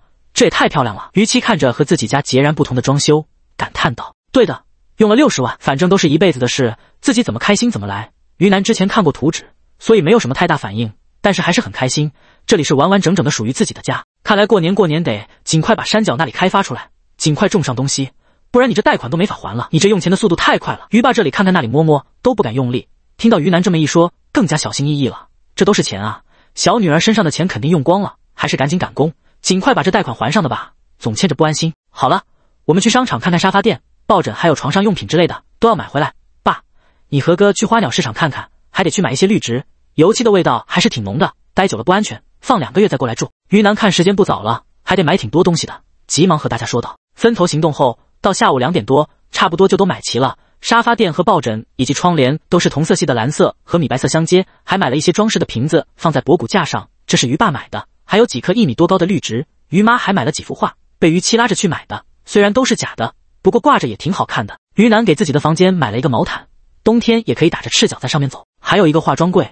然后基本就没什么了，大件都买了，其他的小件就等着入住后慢慢的添加吧。回到家后，大家都有点累，于七去煮了一些面条，吃完之后，于爸就宣布元旦办入新居酒。那算下来就还有五天的时间准备，还挺快的。于妈把今天买的请帖按照之前准备好的名字让于爸写上去，于爸的钢笔字写得很好，于南的鸡爪字就常常被他嫌弃，写了差不多一百张，村里每家都写了一张，来不来无所谓，反正都发过去。然后于爸就开始给在外面的亲戚打电话通知。于妈也给他那边的亲戚打电话，然后于南耳边不时响起他们此起彼伏的声音：“大姐，元旦有空回来一趟哦。”“没事，就家里买了新房，元旦摆酒。”“对，刚买的，小妹买的，我哪有什么钱买？我不多说了，还得通知其他人，元旦记得回来啊。”“三弟，元旦回来喝酒，小妹买了新房，那天摆酒，记得提前一天回来帮忙。”“就这样啊，妹啊，对，房子装修好了，对，还得谢谢倩倩呢。元旦摆酒，你们一家都要过来啊，还有那个倩倩的男朋友也一起。”小妹说：“还多亏他帮忙呢。”行，早点来啊！今天累了一天，于南见他们还那么兴奋，也不管了，直接去睡觉。大冷天的，还是被窝里暖和。第七十一章摆酒席上，元旦这一天天气晴朗，下了好几天的雨也停了，早上还出了太阳，天公都在做美，院子打扫得干干净净。旁边邻居家的空院子也被借来摆满了桌子，昨晚搭好的灶台，厨师们半夜都过来烧着了。于木和大堂哥、二堂哥以及村里的年轻仔大早上就上街买了今天所需的所有材料，就等时间一到就开始炒菜。村里的妇女婆子们都来帮忙，洗碗的、擦桌子的、洗菜的都有人帮坐着。门口放着一张桌子，上面摆着果盘和茶。于七坐在那，等人来的时候登记，顺便收礼金。登记好以后，要是别人家办酒席，是要还回去的。于爸一大早就在村口那里坐着，专门接人过来。于妈烧着一盆火红的木炭放在客厅，等人来了可以围着做烘火。嗯，于南就是坐在炭边陪聊，这是他最不喜欢做的事，却也没办法。房子是他买的，他得招待人。抱着小外甥在烤糯米糍粑，这还是前两天于妈做的，到时候客人走了要拿这个送。把白胖的糍粑烤得金黄焦脆，就可以拿起来吃了。有点烫，呼呼在吃啊！于南一边撕一点，一边喂着小晨晨，给他吃了一半，剩下的他全部吃了。看着小晨晨那委屈的眼神，于南一边擦手一边说道：“这个不能多吃，积食会肚子痛，等下好吃的就不能吃了。乖啊！”捏了捏他肉嘟嘟的小脸，回来两个多月，总算养胖了好多，比之前于南刚见他那会好看多了。哎呦，小妹都已经有那么大的孩子了吗？什么时候的事？也没人通知啊！尖锐刺耳的声音从门口传来，小晨晨吓得一抖，直接扑进于南的怀里，紧紧抱着，脸上是要哭不哭被吓到的表情。于南感情安抚的拍拍他的后背，不怕不怕，姨姨在这呀。于南看向门外那人，眼神顿时暗了一下，低垂着眼帘，没带温度的说道：“姑妈回来了，自己找凳子坐。”来人正是于南的姑妈于爸的大姐，最是瞧不起于南家的人。于南家以前住的瓦房，他们一家回来从不进门过，都是去大伯家那边。即使爷爷是和于南家一起住。他们也不进门，从小于南就知道这些人当不得亲戚。线下回来的是姑妈夫妻和大表姐。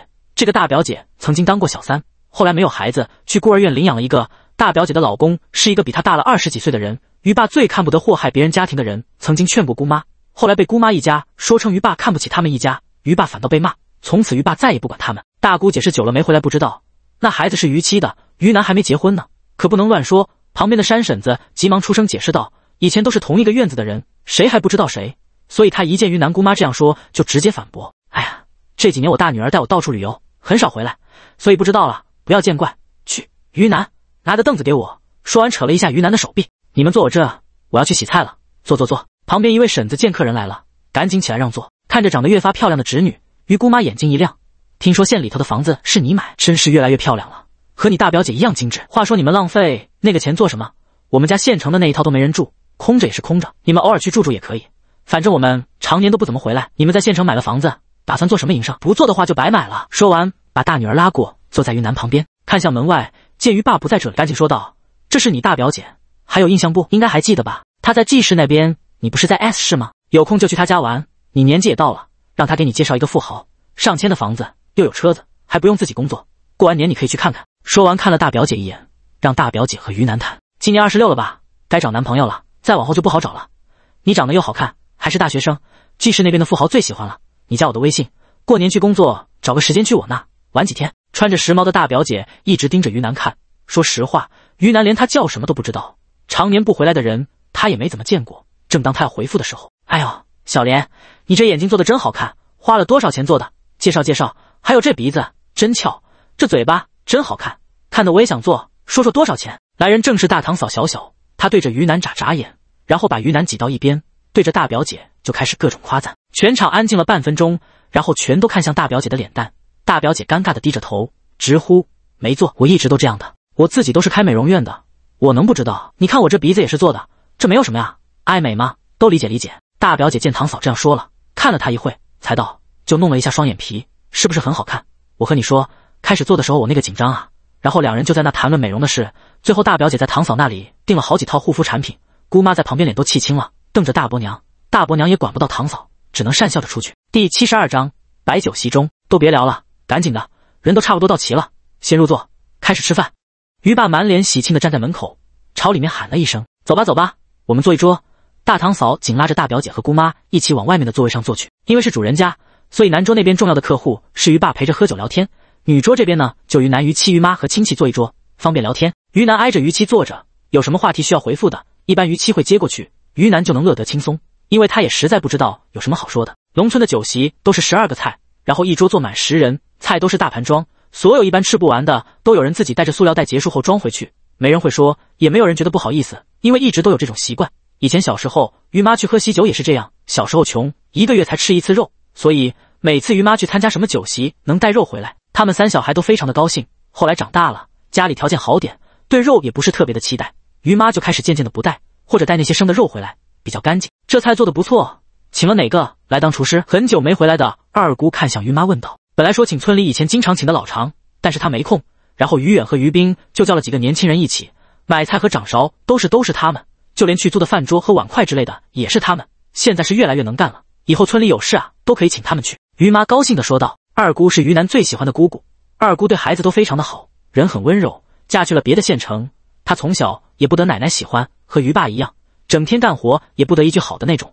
二姑父也是于爸的朋友，逢年过节都会回来，从不嫌弃于南家怎么样。以前回来晚了要过夜，没有地方睡，他们宁愿在于南家睡沙发，也不愿意去大伯家。虽然拥挤，可是于南却非常的欢喜。于南读小学的时候，二姑父犯事被抓。”于爸第一时间去二姑家撑腰，二姑愿意等二姑父出来，于爸也没有说什么。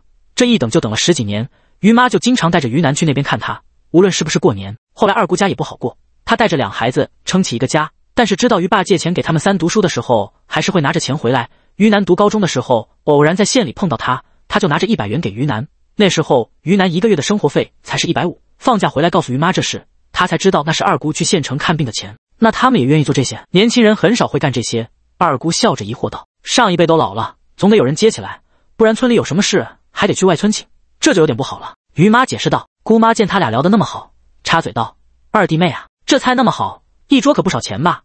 说完，用筷子在盘子里翻来翻去。于妈笑着看着全桌的人：“这我也不懂，都是孩子他爸安排的。喜庆的日子，大家吃好喝好，热热闹闹的才是最重要的。我听到于远和他们交谈，一桌应该要两千这样，啧啧啧，比别人结婚还贵，真有钱。”大伯母碰了一下姑妈的膝盖，暗示道：“房子买在哪里？多少钱啊？等会回去我们去看看。”大姑妈一边舀汤一边问道。饭桌上的人也都看向于妈，大家都比较好奇，不声不响的就买了房子，看来是默默发财了。在义德园那边贷款买的，哪里有钱？不像你们都是全款买，这不是孩子都大了，有自己的想法，我们做大人的支持他们就好了。于妈笑着看着大家道。大姑妈得意的看向大表姐，说的也是，像我家小莲啊，一线城市买一套，县城买一套。都是全款，贷款多不好啊！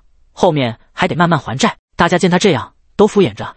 你女儿真有钱啊！一线城市得好几百万吧？应该不止，听说一瓶都好几十万。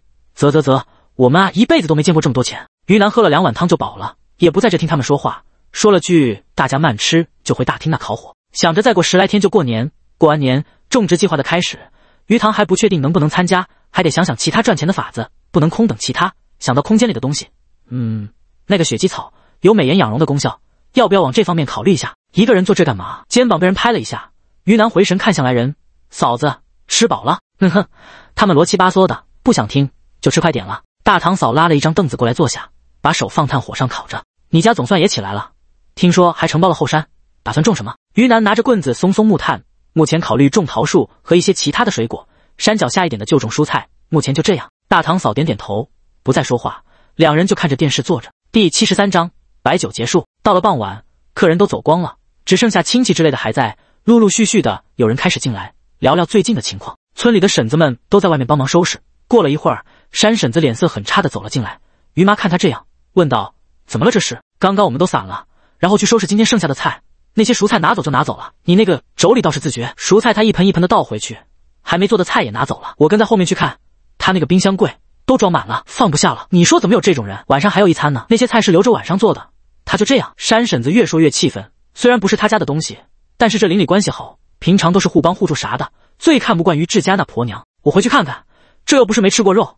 老太太这是干嘛？大堂嫂尴尬的想挖个洞。这是人干事。于南对于大伯母做这种事已经见怪不怪了。村里很多人有意见，背后说了很多他的坏话，但人家脸皮厚，全不当一回事。大伯也不说，反正得意的是他家，装不知道就行了。过来一会。堂嫂和大堂哥一人捧着一大盆的生肉回来，两人后面还跟着大伯母和鱼高。大伯母一直在骂骂咧咧的，鱼高满脸青色。大伯母见那么多人看过来，顿了一下，满脸无奈，继续道：“就拿了一点肉，就追到家里去。这说出去多丢人啊！我见鱼高不来，才拿点回去给他做着吃。这还没下锅，后脚就被哪里过来。二弟妹，你说这他一个人吃两盆肉，你要是缺这点肉，就私下和我说，我拿给你。你不能把晚上用来招待亲戚的肉都拿走吧？你这让我们怎么办？哪里来得及去买？好了。”拿回来就好了，我也不多说了。于妈接过大堂嫂拿过来的肉，放到厨房那边去。大家见这样，也不再理他们。大姑妈也不想表现的和大伯母很熟的样子，太丢人了。好几年没吃过肉一样似的，忙拉着于南问：“要不我们现在去新房那里看看？晚饭就不吃了，去新房认个路，顺道回去。”“对呀对呀，我们去新房看看，坐我的车和小小的车，要你管管够了。”大表姐也不想住乡下，见他妈这样说，赶紧附和道：“新房子刚装修好，还不能住人，里面的油漆味还没散开，去的话明天再去吧。现在晚了，就为了看一眼，等会又得回来，麻烦。明天我们去了联系你们。你晚上要是回去的话，于南想了一下，回复道：“又不能拒绝，你摆酒了，人家要是要求去新房看一眼，也不能拒绝。再说他见村里的几个婶子也想去，还是答应比较好。”见他这样说，大姑妈家也不好说什么，然后也不等晚饭了，说了一会话就开车回县里。于南晚上不饿，就去睡了一觉。等他醒过来的时候，已经晚上九点多了，感觉有点口渴，出来接水。开门就看到全家坐的坐，躺着的躺在那。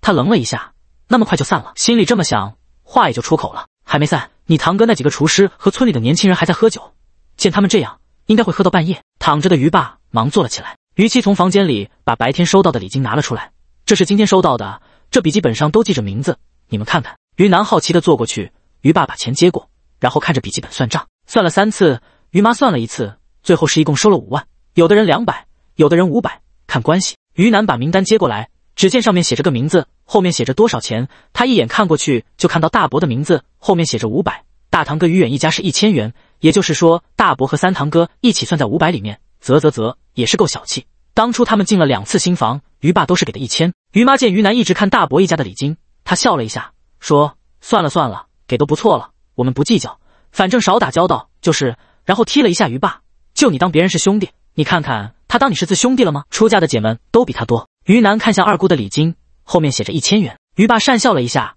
看向于妈亲戚那边的，只见小姨的是一千元，胡倩表姐的也一千，就连钟子家的也是一千。今天他两医院值班没法过了，礼金让小姨拿来的。于爸就更加不好意思了，尴尬的把本子合起来，然后整理好礼金，把礼金全部递给于南，拿去还房贷。于南愣了一下，不用，我还有。再说。以后不是还得返还给人家，到时候不还是你们去的吗？这你不用操心，我们和你妈商量好了，这钱你拿去。后山那里还没有那么快有收获，这几个月肯定没来得及赚钱了。你每月房贷那么多，这些刚好救急。于七和于木也看向他，拿着吧，不用看我们。于南想了一下，还是收了，以后再慢慢用在家用方面吧。对了，明天他们要去看新房，我们早上早点起来，人应该比较多。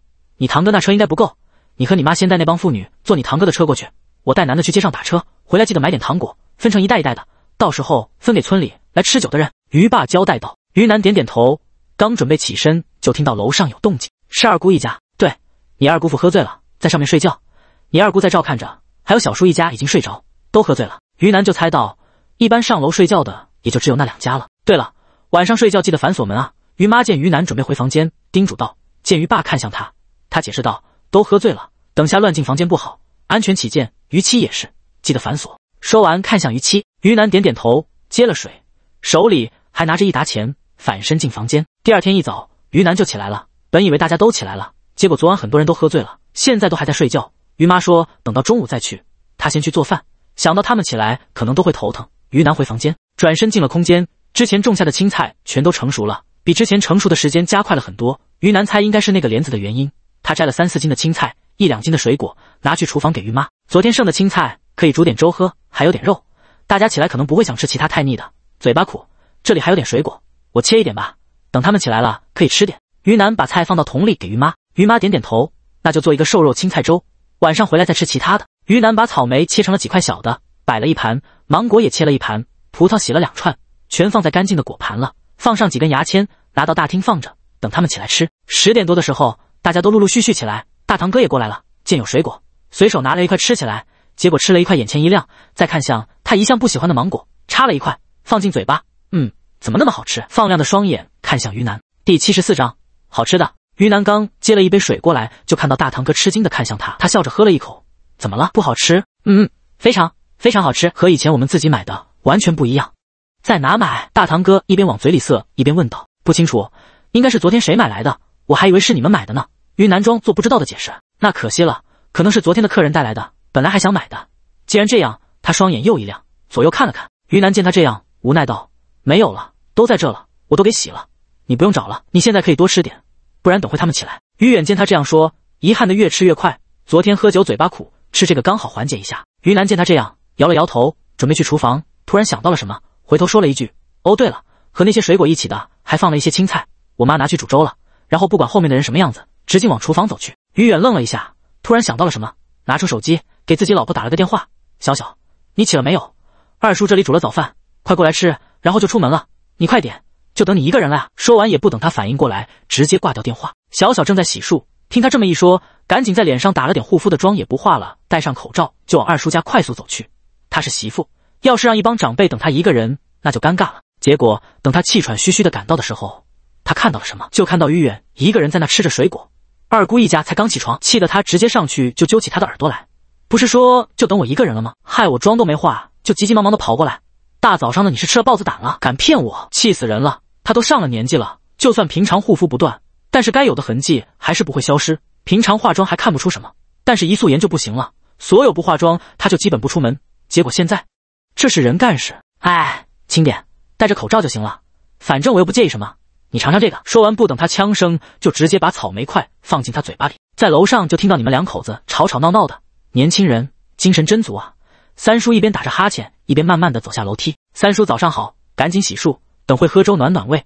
于南刚进来就看到三叔下来，精神不是很好，赶紧说道。于远见小小总算安静下来，把牙签递给他，让他自个吃，就去厨房帮忙了。小妹，过来吃这个，超好吃。早上吃水果，其实也吃不了多少，都饱了，水分太多了，他也吃不了几块。小小见于难过，连忙拉着他，让他吃。我刚刚已经吃过了，这还是我洗的呢，你自己吃，吃不下就不吃了。等会还要喝粥呢。于南见他不舍的样子，无奈道：“粥已经煮好。”他赶忙去拿了碗筷过来摆放，然后于七和于远就把小菜和粥拿了进来。昨天酒喝太多，嘴巴又苦又干，见那些大鱼大肉就不想吃，这粥还挺香的，闻着就有胃口。于三叔拿起碗就打了满满一碗粥，再加了些萝卜酸一起。二嫂厨艺是越来越好了，这简单的青菜瘦肉粥。都那么好吃，我可以喝三碗。喝了半碗粥，才松口的三叔感叹完，再加了一块萝卜酸，嘎吱一声清脆响，满口都是酸甜味，闻着就流口水的那种。他眼前一亮，二嫂这萝卜酸怎么那么好吃？是自己做的还是买的？好吃你就多吃点，是自己做的。前面不是种了萝卜吗？卖完还留了一些，就拿来做泡菜了。想着过年吃的菜比较腻，你哥说吃这个节俭，就泡了一坛。于妈见小叔子那么捧场，心里高兴着，笑着回道：“那我拿点回去吃。嫂子，你帮我装一点哈。”说话都阻止不了他喝粥的速度，现在他已经喝了第二碗了。二姑家和大堂哥一家见他这样，也赶紧加快进食的速度，然后都纷纷说道：“我也来一点带回去。”于南早餐一般吃的不多，一碗粥就足够了。吃完见大家这样说，连忙道：“妈，你先吃，我去洗瓶子。”一家一个一升左右的玻璃瓶，于南给他们装的满满的。这些萝卜都是之前种的，被浇过一点淋水，都好吃成这样。之后山里种什么，销路怎么样，于南一点都不担心。大家吃饱喝足，休息了一会，于爸去通知那些想去的人家。于南这边先坐着大堂哥的车过去，走的时候见没人吃桌上的水果，大堂哥于远赶紧去冰箱拿了一次性袋子，全都装了回去，一边装着见于南路过，还一边说着不能浪费。于南简直哭笑不得。第七十五章看新房，开车倒是挺快，半小时左右他们就到达县里。之前出门的时候已经通知了大姑妈那边，所以等于南到门口到的时候，大姑妈和大表姐已经在那等着了。于南刚下车，谢经理就眼前一亮，急忙走了过来，于小姐。您这是有什么需要帮忙的吗？他看了周围一眼，其他人疑惑道：“哦，没事，就亲戚过来看一下新房，不用帮忙，您忙您的就可以了。”于南见他特意过来询问，笑着解释了一下，然后带着他们往八号楼走去。这个小区环境不错啊，比我们之前买的那里好多了。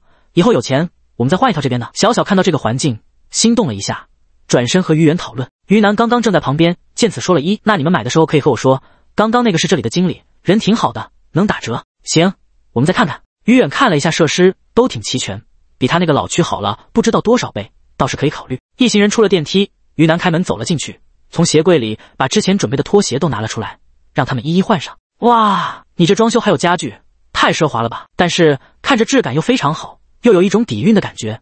啧啧啧，这装修找谁帮忙的？低调奢华，我好喜欢。下次我们要是买新房，你帮忙推荐一下。小小一进来就眼前一亮，看着满屋的装饰。一眼望去，让人感觉就像是书香门第家庭那种质感，他好喜欢。我小姨那边帮忙找的装修设计图，我网上查的。你买新房再找我。于南笑着把大家带进来，都随便看看，因为没有入住，所有其他吃的喝的没有准备。于南坐在沙发上，让他们随便走走。其他人早就被这不一般的装修吸引住了，也不管于南说什么，都各自去参观。大表姐站在客厅左右看了看，然后挑着坐在于南旁边。这地段不便宜吧？还有这装修，这家具上百万。于南看了他一眼。不便宜，贷款买的。啧啧啧，年轻人还是踏实点好。出去久了，这虚荣心啊，蹭蹭蹭的往上涨。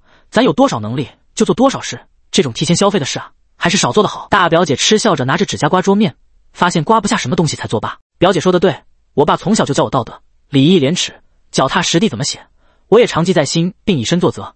表姐年长我十岁，想必比我懂得多。于南不轻不重的回了句：“你你的教养就是这样的，别以为买了个房子就想上天，以后能不能还得清都不知道。”哼，我也没必要和你争论。对于这种不重要的人，于南懒得和他争论。你过好自己的生活，甚至过得比他们好，他们就会自己给自己找难受。来来来，都进来，里面是木质地板，比较难洗，所以大家进来都换上拖鞋啊。这不是嫌弃，实事求是的说。于爸推开门，带着一些老乡进来。理解理解，这么干净的地，我们也不好意思弄脏了。对对对，应该的，都是小孩子自己装修的，我们不参与。要是我弄，肯定就是和老家一样，能住就行。但是毕竟是小孩自己买的，他怎么装修都好。年轻人和我们不一样，我们尊重他们的想法，所以大家见谅。于爸一边把拖鞋拿给他们，一边解释道：“如果什么都不说，等他们回村里来一句进个门都还要换鞋，嫌弃农村人的意思就不好了。所以他就多嘴一句，严重了，严重了。我们又不是老古董，现在电视看那么多。”该懂的都知道，就是就是。于爸见他们真的没有什么不满，笑着让他们先进去。于南见门口有人进来，起身走了过去。都来了，进来坐。想参观的可以随便看看哈，不用拘谨。爸，你招呼招呼叔婶们，我去买点水。于南见他们都来了，打算去楼下买点水上来，毕竟干坐着也不好。行，你去吧，我看着就行。哦，对了，买点水果上来。于爸点点头。小区里就有一个不是很大的超市，于南去里面看了一下，什么都有，就是种类比较少。他随便买了一些就上去。第七十六章和大伯一家彻底闹翻。刚到门口就听见里面吵吵闹闹的声音。于南皱着眉头站在门口听了一下，后续应该会加快男女主的交往了。我刚刚就是看这个架子上的东西好看，然后过来瞧瞧，但是我没敢动手拿，怕是真的碰碎了，我可没钱赔。看完我就转身准备走，谁知道于大娘就直接撞了过来，然后我就撞到后面的架子上，然后这个瓶子就掉了下来。我发誓我不是故意的，真的是被撞到的。山婶子满脸着急的解释道：“我可没有撞你，乱说什么呢你？”我见你在那看的眼睛都不眨，也不让位，就想着去别的地方先看看，结果你就往身上撞过来，自己做的事自己负责呀，别赖我身上。要赔也你赔。大伯娘见大家都看向他，急忙解释道：“只是有没有人相信他就不知道了。你满嘴胡话，血口喷人，明明就是你特意撞我的，我都看见了。你去问问村里谁不知道你眼红于敏家买了新房。刚刚进来的时候，你看到这些布置，那满脸极度狰狞的，恨不得全砸了。你就是故意的。”山婶子听他这样说，恨得撕了他。山婶子。可不能乱说，二叔家买了新房，我们高兴都来不及，怎么可能会嫉妒？我们家早就买房子了，用得着嫉妒吗？三堂哥的老婆英子上前拉住自己的婆婆，呛声道：“你放屁！你们那房子买的是二手货，小小的两房一厅，地段还是郊外山脚那边。你刚刚进来还想躺人家新床上去，还想刮花于南的梳妆台。要不是我说你，你早就当做你家的房子住着了。我就是怕你们乱来，才一直看着你们。谁知道我一不留神就被碰到了。”山婶子见他们俩婆媳一起围攻她，气得很。岁岁平安。算了算了，这又不值什么钱，丢掉就好了。都是邻里邻居的，没必要吵起来。大姑妈见于爸的脸色越来越不好，赶紧打呵呵。于爸确实很生气。新房子，今天大家本来高高兴兴的参观，结果闹了这么一出。他看向大哥，只见大哥看向窗外，貌似屋内吵架的不是他老婆一样，也没有对于作为他弟弟的一点愧疚。早就没有期待了，不是吗？这么多年过来，大嫂针对自己的事不少了，每次都是等大嫂解决不了他才出头。对于新房子，他也是有嫉妒的吧？于爸转头不再看向他。他刚准备出声，就看到小女儿走了进来，愧疚的看了他一眼。喜庆的日子被大人之间的事给搞成这样。于南安抚的看了于爸一下，然后走了进去，拉着山婶子的手，看着他着急的红了眼眶，温和道：“没事，摔就摔了，都是假的东西，一个几十块钱的那种，不值几个钱，不用怕。”于南，我没有。山婶子见于南安抚的看他，他喃喃道：“就是嘛，摔就摔了，又不值几个钱，你怕什么？他们又不要你赔。”大伯娘见于南这样说，赶紧上前说道。谁摔的？我们不清楚。但是于南见他这样，也不打算给他留情面，冷冷的看向他。但是我家里都安装了监控，每个角落发生了什么都能保留，我们大家可以看看。当初他也只是为了安全才装的监控，那时候装修还没完，监控一直开着，到现在也没关。没想到今天还派上用场了。大伯娘听他这么一说，心里颤了一下，慌忙的说道：“哎呦，这还看什么？不值几个钱的东西，不用再追究了，不然山婶子多尴尬啊！于南你也真是的，自己家还装这种东西。”怕家人里自己偷啊！于南不再看他，把手上的水果和水放到桌上，看向大家。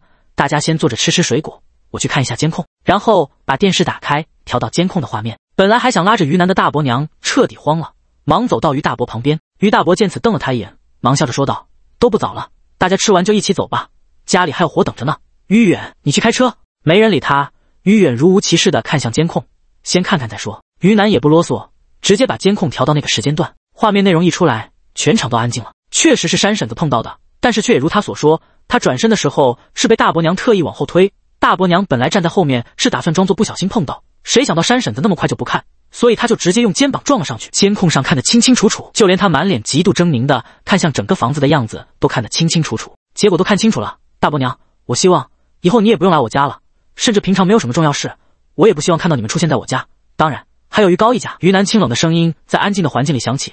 于南见他看向于爸，还想出声，再次出声。我的意思就是我爸的意思。您那狠毒的嘴脸，我们都看清了。我怕再和你们家来往，什么时候出事了都不知道。所以烦请以后你们自觉点，不要踏入我们家。当然来了，我们也不会开门。所以你们现在走吧，我不欢迎。老二，你不管管。于大伯被说的脸色一会青一会白，急忙厉声看向于爸：“大哥，于南的意思就是我们家的意思。实话和你说，大嫂做的事，我不相信你不知道。你就是在纵容他，或者你就是同意他这么做，甚至于……”你也想那么做？谁也不是傻子。我忍是因为老爷子还在，是怕他难过。现在老爷子都去了一年了，没什么好忍的了。于爸说着说着哽咽了一下，这些年委屈够了。好，好，好，好样的！有钱了就看不起我们这些穷亲戚了。我们走，以后有什么事，你也不用找我们。于大伯见大家都用奇怪的眼神看他，气得他放下狠话就离开。于爸见于远满脸尴尬愧疚，拍拍他的肩膀，不再出声。真的是逮住出好笋了。于远，你还愣着干什么？赶紧送我回去，不见人家赶你走吗？你再留下，就不要认你老子。说完也不等于远回复，就自己先走了。大伯娘见闹成这样子，又见于大伯非常生气，也不敢上前，拉着于远的胳膊跟在后头。等那一家都走了，大家都满脸尴尬的，你看我，我看你。大姑妈见这样，也不好意思待着。平常她和大伯娘要好，现在闹出这事，大家会不会觉得她也是这样的人？所以也不好再留着。和大表姐对了对眼神，出声道：“那什么，小莲还要去赶车，我们就先走了。你们再逛逛，不用送。这是闹的，下次有机会我们再聚啊。”说完，拉着大表姐赶忙走了出去。山婶子见情况成这样，虽然不是她的错，但是也算她引起的。她满脸尴尬的看向于妈，然后见于妈拿着扫把扫那碎瓶子，她赶忙过去抢着扫。二嫂，你给我，我来，不然我心里过不去。见她这样，于妈也没再让着。大家坐着吧，都吃吃水果，刚买的，大中午的应该也饿了。于爸率先坐下，招了招手，把水果都放到桌上，招呼大家。对对对，都拿着，反正大家都知道我们家情况，以前只是表面面子。现在这样了，也不用尴尬什么。来来来，拿着拿着。三叔接过于爸递来的水果，放到大家的手上。没事没事，谁也不想出这事，就是嘛，都是亲戚，不想着好，反而想着坏，也就他们做得出来，你也不用担心啥的。对，回头我们去村里解释，他们也不敢乱说，还说什么？你放心就是了。大家你一句我一句的安慰于爸。其实闹了这么一出，大家也都心不在焉的。于爸见这样，再说了一会话，就给之前的司机打电话，让他安排两辆车过来，就招呼大家回去了。第七十七章。过年了，距离上次发生的事情已经过去了好几天，村里也没人多说什么，只是从此于南家在村里碰到于大伯家，再也不主动打招呼，必要的共识也只是你做你的，我做我的，就像今年大年三十一样，以往都是大家一起买菜到于南家，直到于南这一辈的人结婚，人越来越多之后，于南家太小，就统一去于大伯，但每次都是吃不饱，菜不够，大伯娘被说了很多次，后来于南建起了楼房，空间大了，其他人又陆陆续续的回到于南家吃团圆饭。今年就只有三叔来于南家，大伯那边就不来了。大家都心知肚明，没必要装面子。反正于南很开心就是了，不用和讨厌的人一起，自己想吃什么就吃什么，好的很。所以一大早他就开他的小电驴，呼啦呼啦的去街上买菜。今晚吃饭的人除了于南一家，就多加了三叔一家三口。但是听说堂弟的女朋友可能会来，所以他打算多买点。农村的团圆饭，鸡鸭鱼肉是必须的，而且大年初一还不能杀生。那大年三十这一天的话，就必须多买点，留着明天吃。买了两只鸡、两只鸭、一条鱼，还有一个大肘子，以及 L 是喜欢的清汤火锅所需要的配菜。他自己一个人拿不了那么多，所以先把空间里的菜拿了出来，还有放在里面的螃蟹。话说那螃蟹有的已经缠子了，并且比刚放进去的时候大了很多。他足足拿了十只出来，一只差不多一斤左右。之前家里的火腿还有，今天街上还有基围虾。鱼腩买了三斤，肉类的基本都准备够了，用麻袋装了两袋，然后绑在电动车后面，呼啦呼啦的骑回家。于妈已经开始烧水，等会要烫鸡鸭，还要祭拜祖先。于南每年的任务都是负责祭拜祖先，这个要等到下午准备好了才可以去。前几天赶集买的炮竹不够，而且小妹买了新房，去买一圈大点的炮竹，烟花也要热闹一点。你们谁有空谁去一趟？于妈翻开祭拜用的物品，发现东西准备少了。往年都是这样，大年三十那天都得来回跑很多次才能买够东西。她年纪大了，记忆力不是很好。于爸又不管这种事业，不是很懂。我去，但是我的电动车有点大，这个点街上人太多了，很难挤进去。哥，你开摩托车带我一起。于南见大家都在忙其他的事，只有他闲着，刚好他想去买点酒水饮料，好吗？刚好我也饿了，我去街上吃一碗粉。于木刚起床不久，十点了也没什么吃的，等会下午两三点就吃年夜饭了，中午都在忙，就没煮饭。那等会多打两碗回来，我也没吃。妈，你要不？爸呢？正在和于爸一起杀鸡鸭的于七见此出声道：“我不吃。”于爸拒绝：“我等会和小妹吃一碗，反正她吃不了多少，买多了浪费。”于妈大早上起来也没吃东西，还真有点饿了，于是点点头：“行，那我们走吧。”于南点点头，和于木说了一声，就先去村口等着。十点多的街道果然拥挤的不成样子，还在街口就得慢行，大车小车比往常多了好多。过年了，在外有车的都会开回来。等了一会，还是水泄不通。于南皱着眉，拍了拍于木的肩膀，出声道：“我们从医院那边的小巷子过去，那里人应该少点。不行的，那边都在卖菜，开车过去没地方停车。车辆管理处就在这边，那边过去就是直接到街中心了。等会还得绕道这边停车。”于木站起来，往里面看了看，回复道：“好吧，那这样，我先去里面那超市把东西买好。太重了，我抬不动，我在那里等你。你放好车就过去。”耳边到处都是喇叭刺耳的声音。等得人心烦意乱的于南实在受不，提议道：“于木也同意。那你买炮竹的时候，记得问老板看看，适合就买。烟花也是啊。”于南绕来绕去，总算走出堵车的地方，看了一眼前头，原来是里面的大车要出来，外面的小车要进去。结果人太多不好退，就僵持住了。眼见已经有人在疏通，想来过一会就可以通路。于南不再观看，直接走到超市卖炮竹的地方。他看了一会，也确实不懂要买什么。见老板在忙，他也就懒得喊人了，直接看哪个大就买哪个。反正又大又响就对了。第七十八章群聊，预计半个小时这样。于南已经把水酒和炮竹之类的都买好了，让员工帮忙抬到门口等着。刚好停车场就在旁边，等了十分钟左右，于木才进得来，赶紧去把车停了，气喘吁吁的走到于南面前，都码好了。人实在太多，看看还差什么，一次性买，实在是不想再来一趟了。我打电话问问老妈，叉着腰给于妈打了电话，说了几句，于木就挂断了电话。老妈说没有，这样我去打包粉，你是去车那里等。还是在这等。于南想着车管处处都是汽油味，还是算了，我在这等吧。你记得打包回去啊，不要自己在那吃完再打，不然我揍你。于木以前就有这种习惯，自己吃饱了才打包，让其他人等了好久。于木翻了一个白眼，大声喊道：“知道了。”等于木离开后，于南把几个炮竹垒起来，然后坐在上面玩着手机，翻了一下信息，到处都是群发的新年祝贺信息，他也懒得回复了，反正晚上零点都还要发，到时候再回复就可以。见初中十几个玩的非常好的好学生群里。大家都在发红包，于南点了进去，抢了好几个，才几分钱，大额度的反而抢不到。被网速支配的恐惧，本想着算了，准备退出的时候，看到被 add 到，看了一下是周海，这个群是周海建立的，里面的人都是初三的时候努力奋斗考高中的同学，玩的比较好的那种。除了晴雨于南，不能只抢哈，发红包不然爆照。于南翻了一下他们发的额度，大多是几十、一百的，想了下就发了一个一百，并且只有五人能抢的，他自己也抢了一个，才五分钱，气得够呛。看来自己与红包真的是无缘，群里都是在笑他。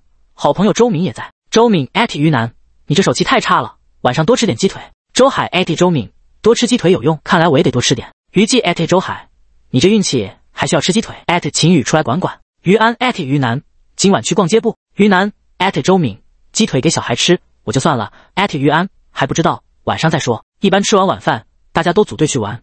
于季在老婆家那边，初二才回来。于安和于敏。还有于成三人，每次都去吃烧烤，他们都是同一个村的，比较方便。周海艾特大家，今晚有啥节目？没有的，要不要出来吃烧烤？一年不见，怪想念大家的。李高，我还在值班，不知道下午放不放假。周海艾特李高，狱警过年还那么忙？李高，忙啊，也要过节呀，要维持秩序。于南见他们开始往事业方面聊天，他就不再出声，实在是尴尬。比较聊天的那几个都是一本毕业，自己只是个大专，还是个无业游民，聊不起。给于木发一个信息。于木那边回复在排队中，于南吹着冷风，看着人来人往，看着小孩子都在买新的玩具，他突然就想吃个冰激凌。小时候，一到过年拿到红包的第一天，就是和小伙伴上街买冰激凌吃，又冷又刺激。老板，给我拿一个带花筒的冰激凌。于南要看东西，只能喊老板帮忙拿了一下。花筒冰激凌是他的最爱，上面处理巧克力就是撒满了碎花生和瓜子仁，特好吃，一口咬下去都是幸福感。第七十九章又遇周海，蹲着吃冰激凌的大冷天的，你也不嫌冷。于南见自己身边有阴影停留，本想挪个地方，听着声音，抬头看向来人，笑了一下。周海来逛街啊！冬日的阳光照在他白嫩的脸上，恍惚间似乎能看到光晕一样，圣洁美好。周海心里愣愣的问自己：后悔吗？对，过来买点炮竹。你怎么一个人在这等人啊？他回神看着于南，轻声问道：对啊，等我哥。呃，你要吃这个吗？我请你。于南举着冰激凌，尴尬的示意。周海哑然失笑道：不用了，你吃吧。天冷，少吃点。你不是经常感冒？这个还是少吃的好。说完，指了指自己的嘴角，笑道：“你这里有个巧克力。”于南见他用温柔的语气对自己说话，随即想到前两年在王宇家聚餐时，他给自己喂的腊肠，顿时觉得手上的冰激凌索然无味，拿出纸巾把嘴角的残余擦掉，然后疏离的看向他，谢谢。周海已看出了他的疏远，回过了神，朗声道：“那你忙，我先进去买东西了，有空再聊。”于南点点头，周海略微僵硬的往里面走去，也不知是天气太冷，还是心冷，大冬天吃这个你也不嫌冷。耳边传来于木嫌弃的声音，于南转头望向他，松了一口气。过去的终将过去，自己都已经走出来，就不再有任何的可能性。无论是单身还是有伴，即使他过得比自己好，我都快冻僵了。怎么那么久？于南略带抱怨的出声道：“那个网红店都过年了，还那么多人过来吃，排了很长的队。走吧，走吧，你拿着粉，我把东西扛过去。”一想到排了半小时才轮到自己，于木也是很郁闷。等于木把麻袋绑好后，于南坐了上去，刚好一辆大车出去，街道通了一点，他急忙加快速度，打转方向，跟在不远的后面出去。哎，小妹。刚刚那男的是谁？于木八卦的问道。于南无语了一下，谁呀？就是站你旁边黑色衣服那个。你不是还和他说话了？我都在那等了一会儿，你们才说完。哦，他呀，初中同学啊。于南抬起一只手，把衣服后面的帽子戴了起来。风实在太大，太冷了。别说话了，开快点，太冷了。回到家的时候，家里的肉类基本已经弄干净，三叔已经回来了，没看到三婶和堂弟。想到以往，于南没有出声，于木这个憨子就直接问出声，说。沈怎么没有没回来？是不是又被抓了？于南三叔一边砍着鸭子，一边习以为常的说道：“那不是年前被抓了，去外地赌博被抓了，关在外地呢。说了多少次不听，这回又是一年半，孩子都那么大了，都有女朋友了，还这样？你们夫妻俩怎么回事？找份工作不行吗？那些事是容易来钱，还是能出息，还是张脸面？”于爸一听他这样说，直接应声道：“三婶和三叔是一类人，都爱赌。三叔是小赌怡情，三婶是大赌伤身，时不时被抓，从来不改。”堂弟每次回来都觉得丢脸至极，说又说不通的那种。不过还好，没有没有做到那房子抵押的那种。那小弟呢？去哪了？于木又问道。刚刚还在这，带了女朋友回来。你那么大，一个女朋友都没有？三叔把一盆水倒在院子里，见于木问，顺道回了他。女朋友玩倒了不服，垃圾从来不倒，饭菜从来不做，天天睡觉，衣服还叫我那小子洗，看得我都一把气。长得也没有小妹好看，他哪里来的底气那么懒？三叔砍鸡的手顿了一下，抱怨道。他不说，他们还以为那女孩子多好呢。真是没见过那么懒的。小弟喜欢就是他的底气了。于南笑着应道：“就是嘛，年纪小，可能不懂，多教教就好了。主要还是看小孩子喜欢。”于妈附和道：“行了，不说他们了。小妹，把菜篮子拿过来，我把鸡装好，等会去祭拜的时候拿这个去。”三叔从锅里拿了一只大肥鸡，装好，放进于南递过来的篮子里。第八十章算计。于妈见鸡煮好了，赶忙去拿了两碗饭和一瓶酒，以及酒杯和等会要烧的纸钱以及小的炮竹。装好之后拿给于南，等会祭拜完了不敢放炮竹，就让旁边的人帮忙，快去快回，回来就吃饭了。祭拜的地方是后山的一个露天平台，平台被高大直立的树木围了起来，全村的人都去，是全村人的祖先来着，大节之类的重要日子都要去祭拜。于南从小就跟在于妈后面去看，后来读书大了，自己也会了，就他一个人去。小时候不敢放炮竹，又腼腆，不敢叫人帮忙，自己磨磨蹭蹭半小时才敢点火，现在想起来都觉得好笑。到达后山的时候，里面的香火已经烧得很旺盛了，烟雾缭绕，安静的场面多了丝丝肃穆。就算是不懂事的孩子在这里也不敢玩闹。于南和村里人日常打了招呼，然后找了一个空地，对着十把准备好的东西摆放出来，把酒杯一一摆好，倒满酒，然后点上香火，插好，就站在旁边等待。在等待的时候，把纸钱拿出来，一张一张的散开，等会好点点的着。预计半炷香的时间就可以烧纸钱了，因为一整天都有人来祭拜，烧纸钱的地方还在燃烧着。于南直接把准备好的纸钱放进去。等到全部烧完，把之前摆放的酒杯一一规矩的倒在台阶前，嘴里说着来年的愿望与期盼，之后再规矩的收拾好东西，然后点绕炮竹。等炮竹噼里啪啦的响完之后，就可以离开了。在这里不能吐口水，不能乱折树枝，走的时候也不能带走里面原本的东西。等于南到家之后，还要拐弯去村口的石碑那里祭拜。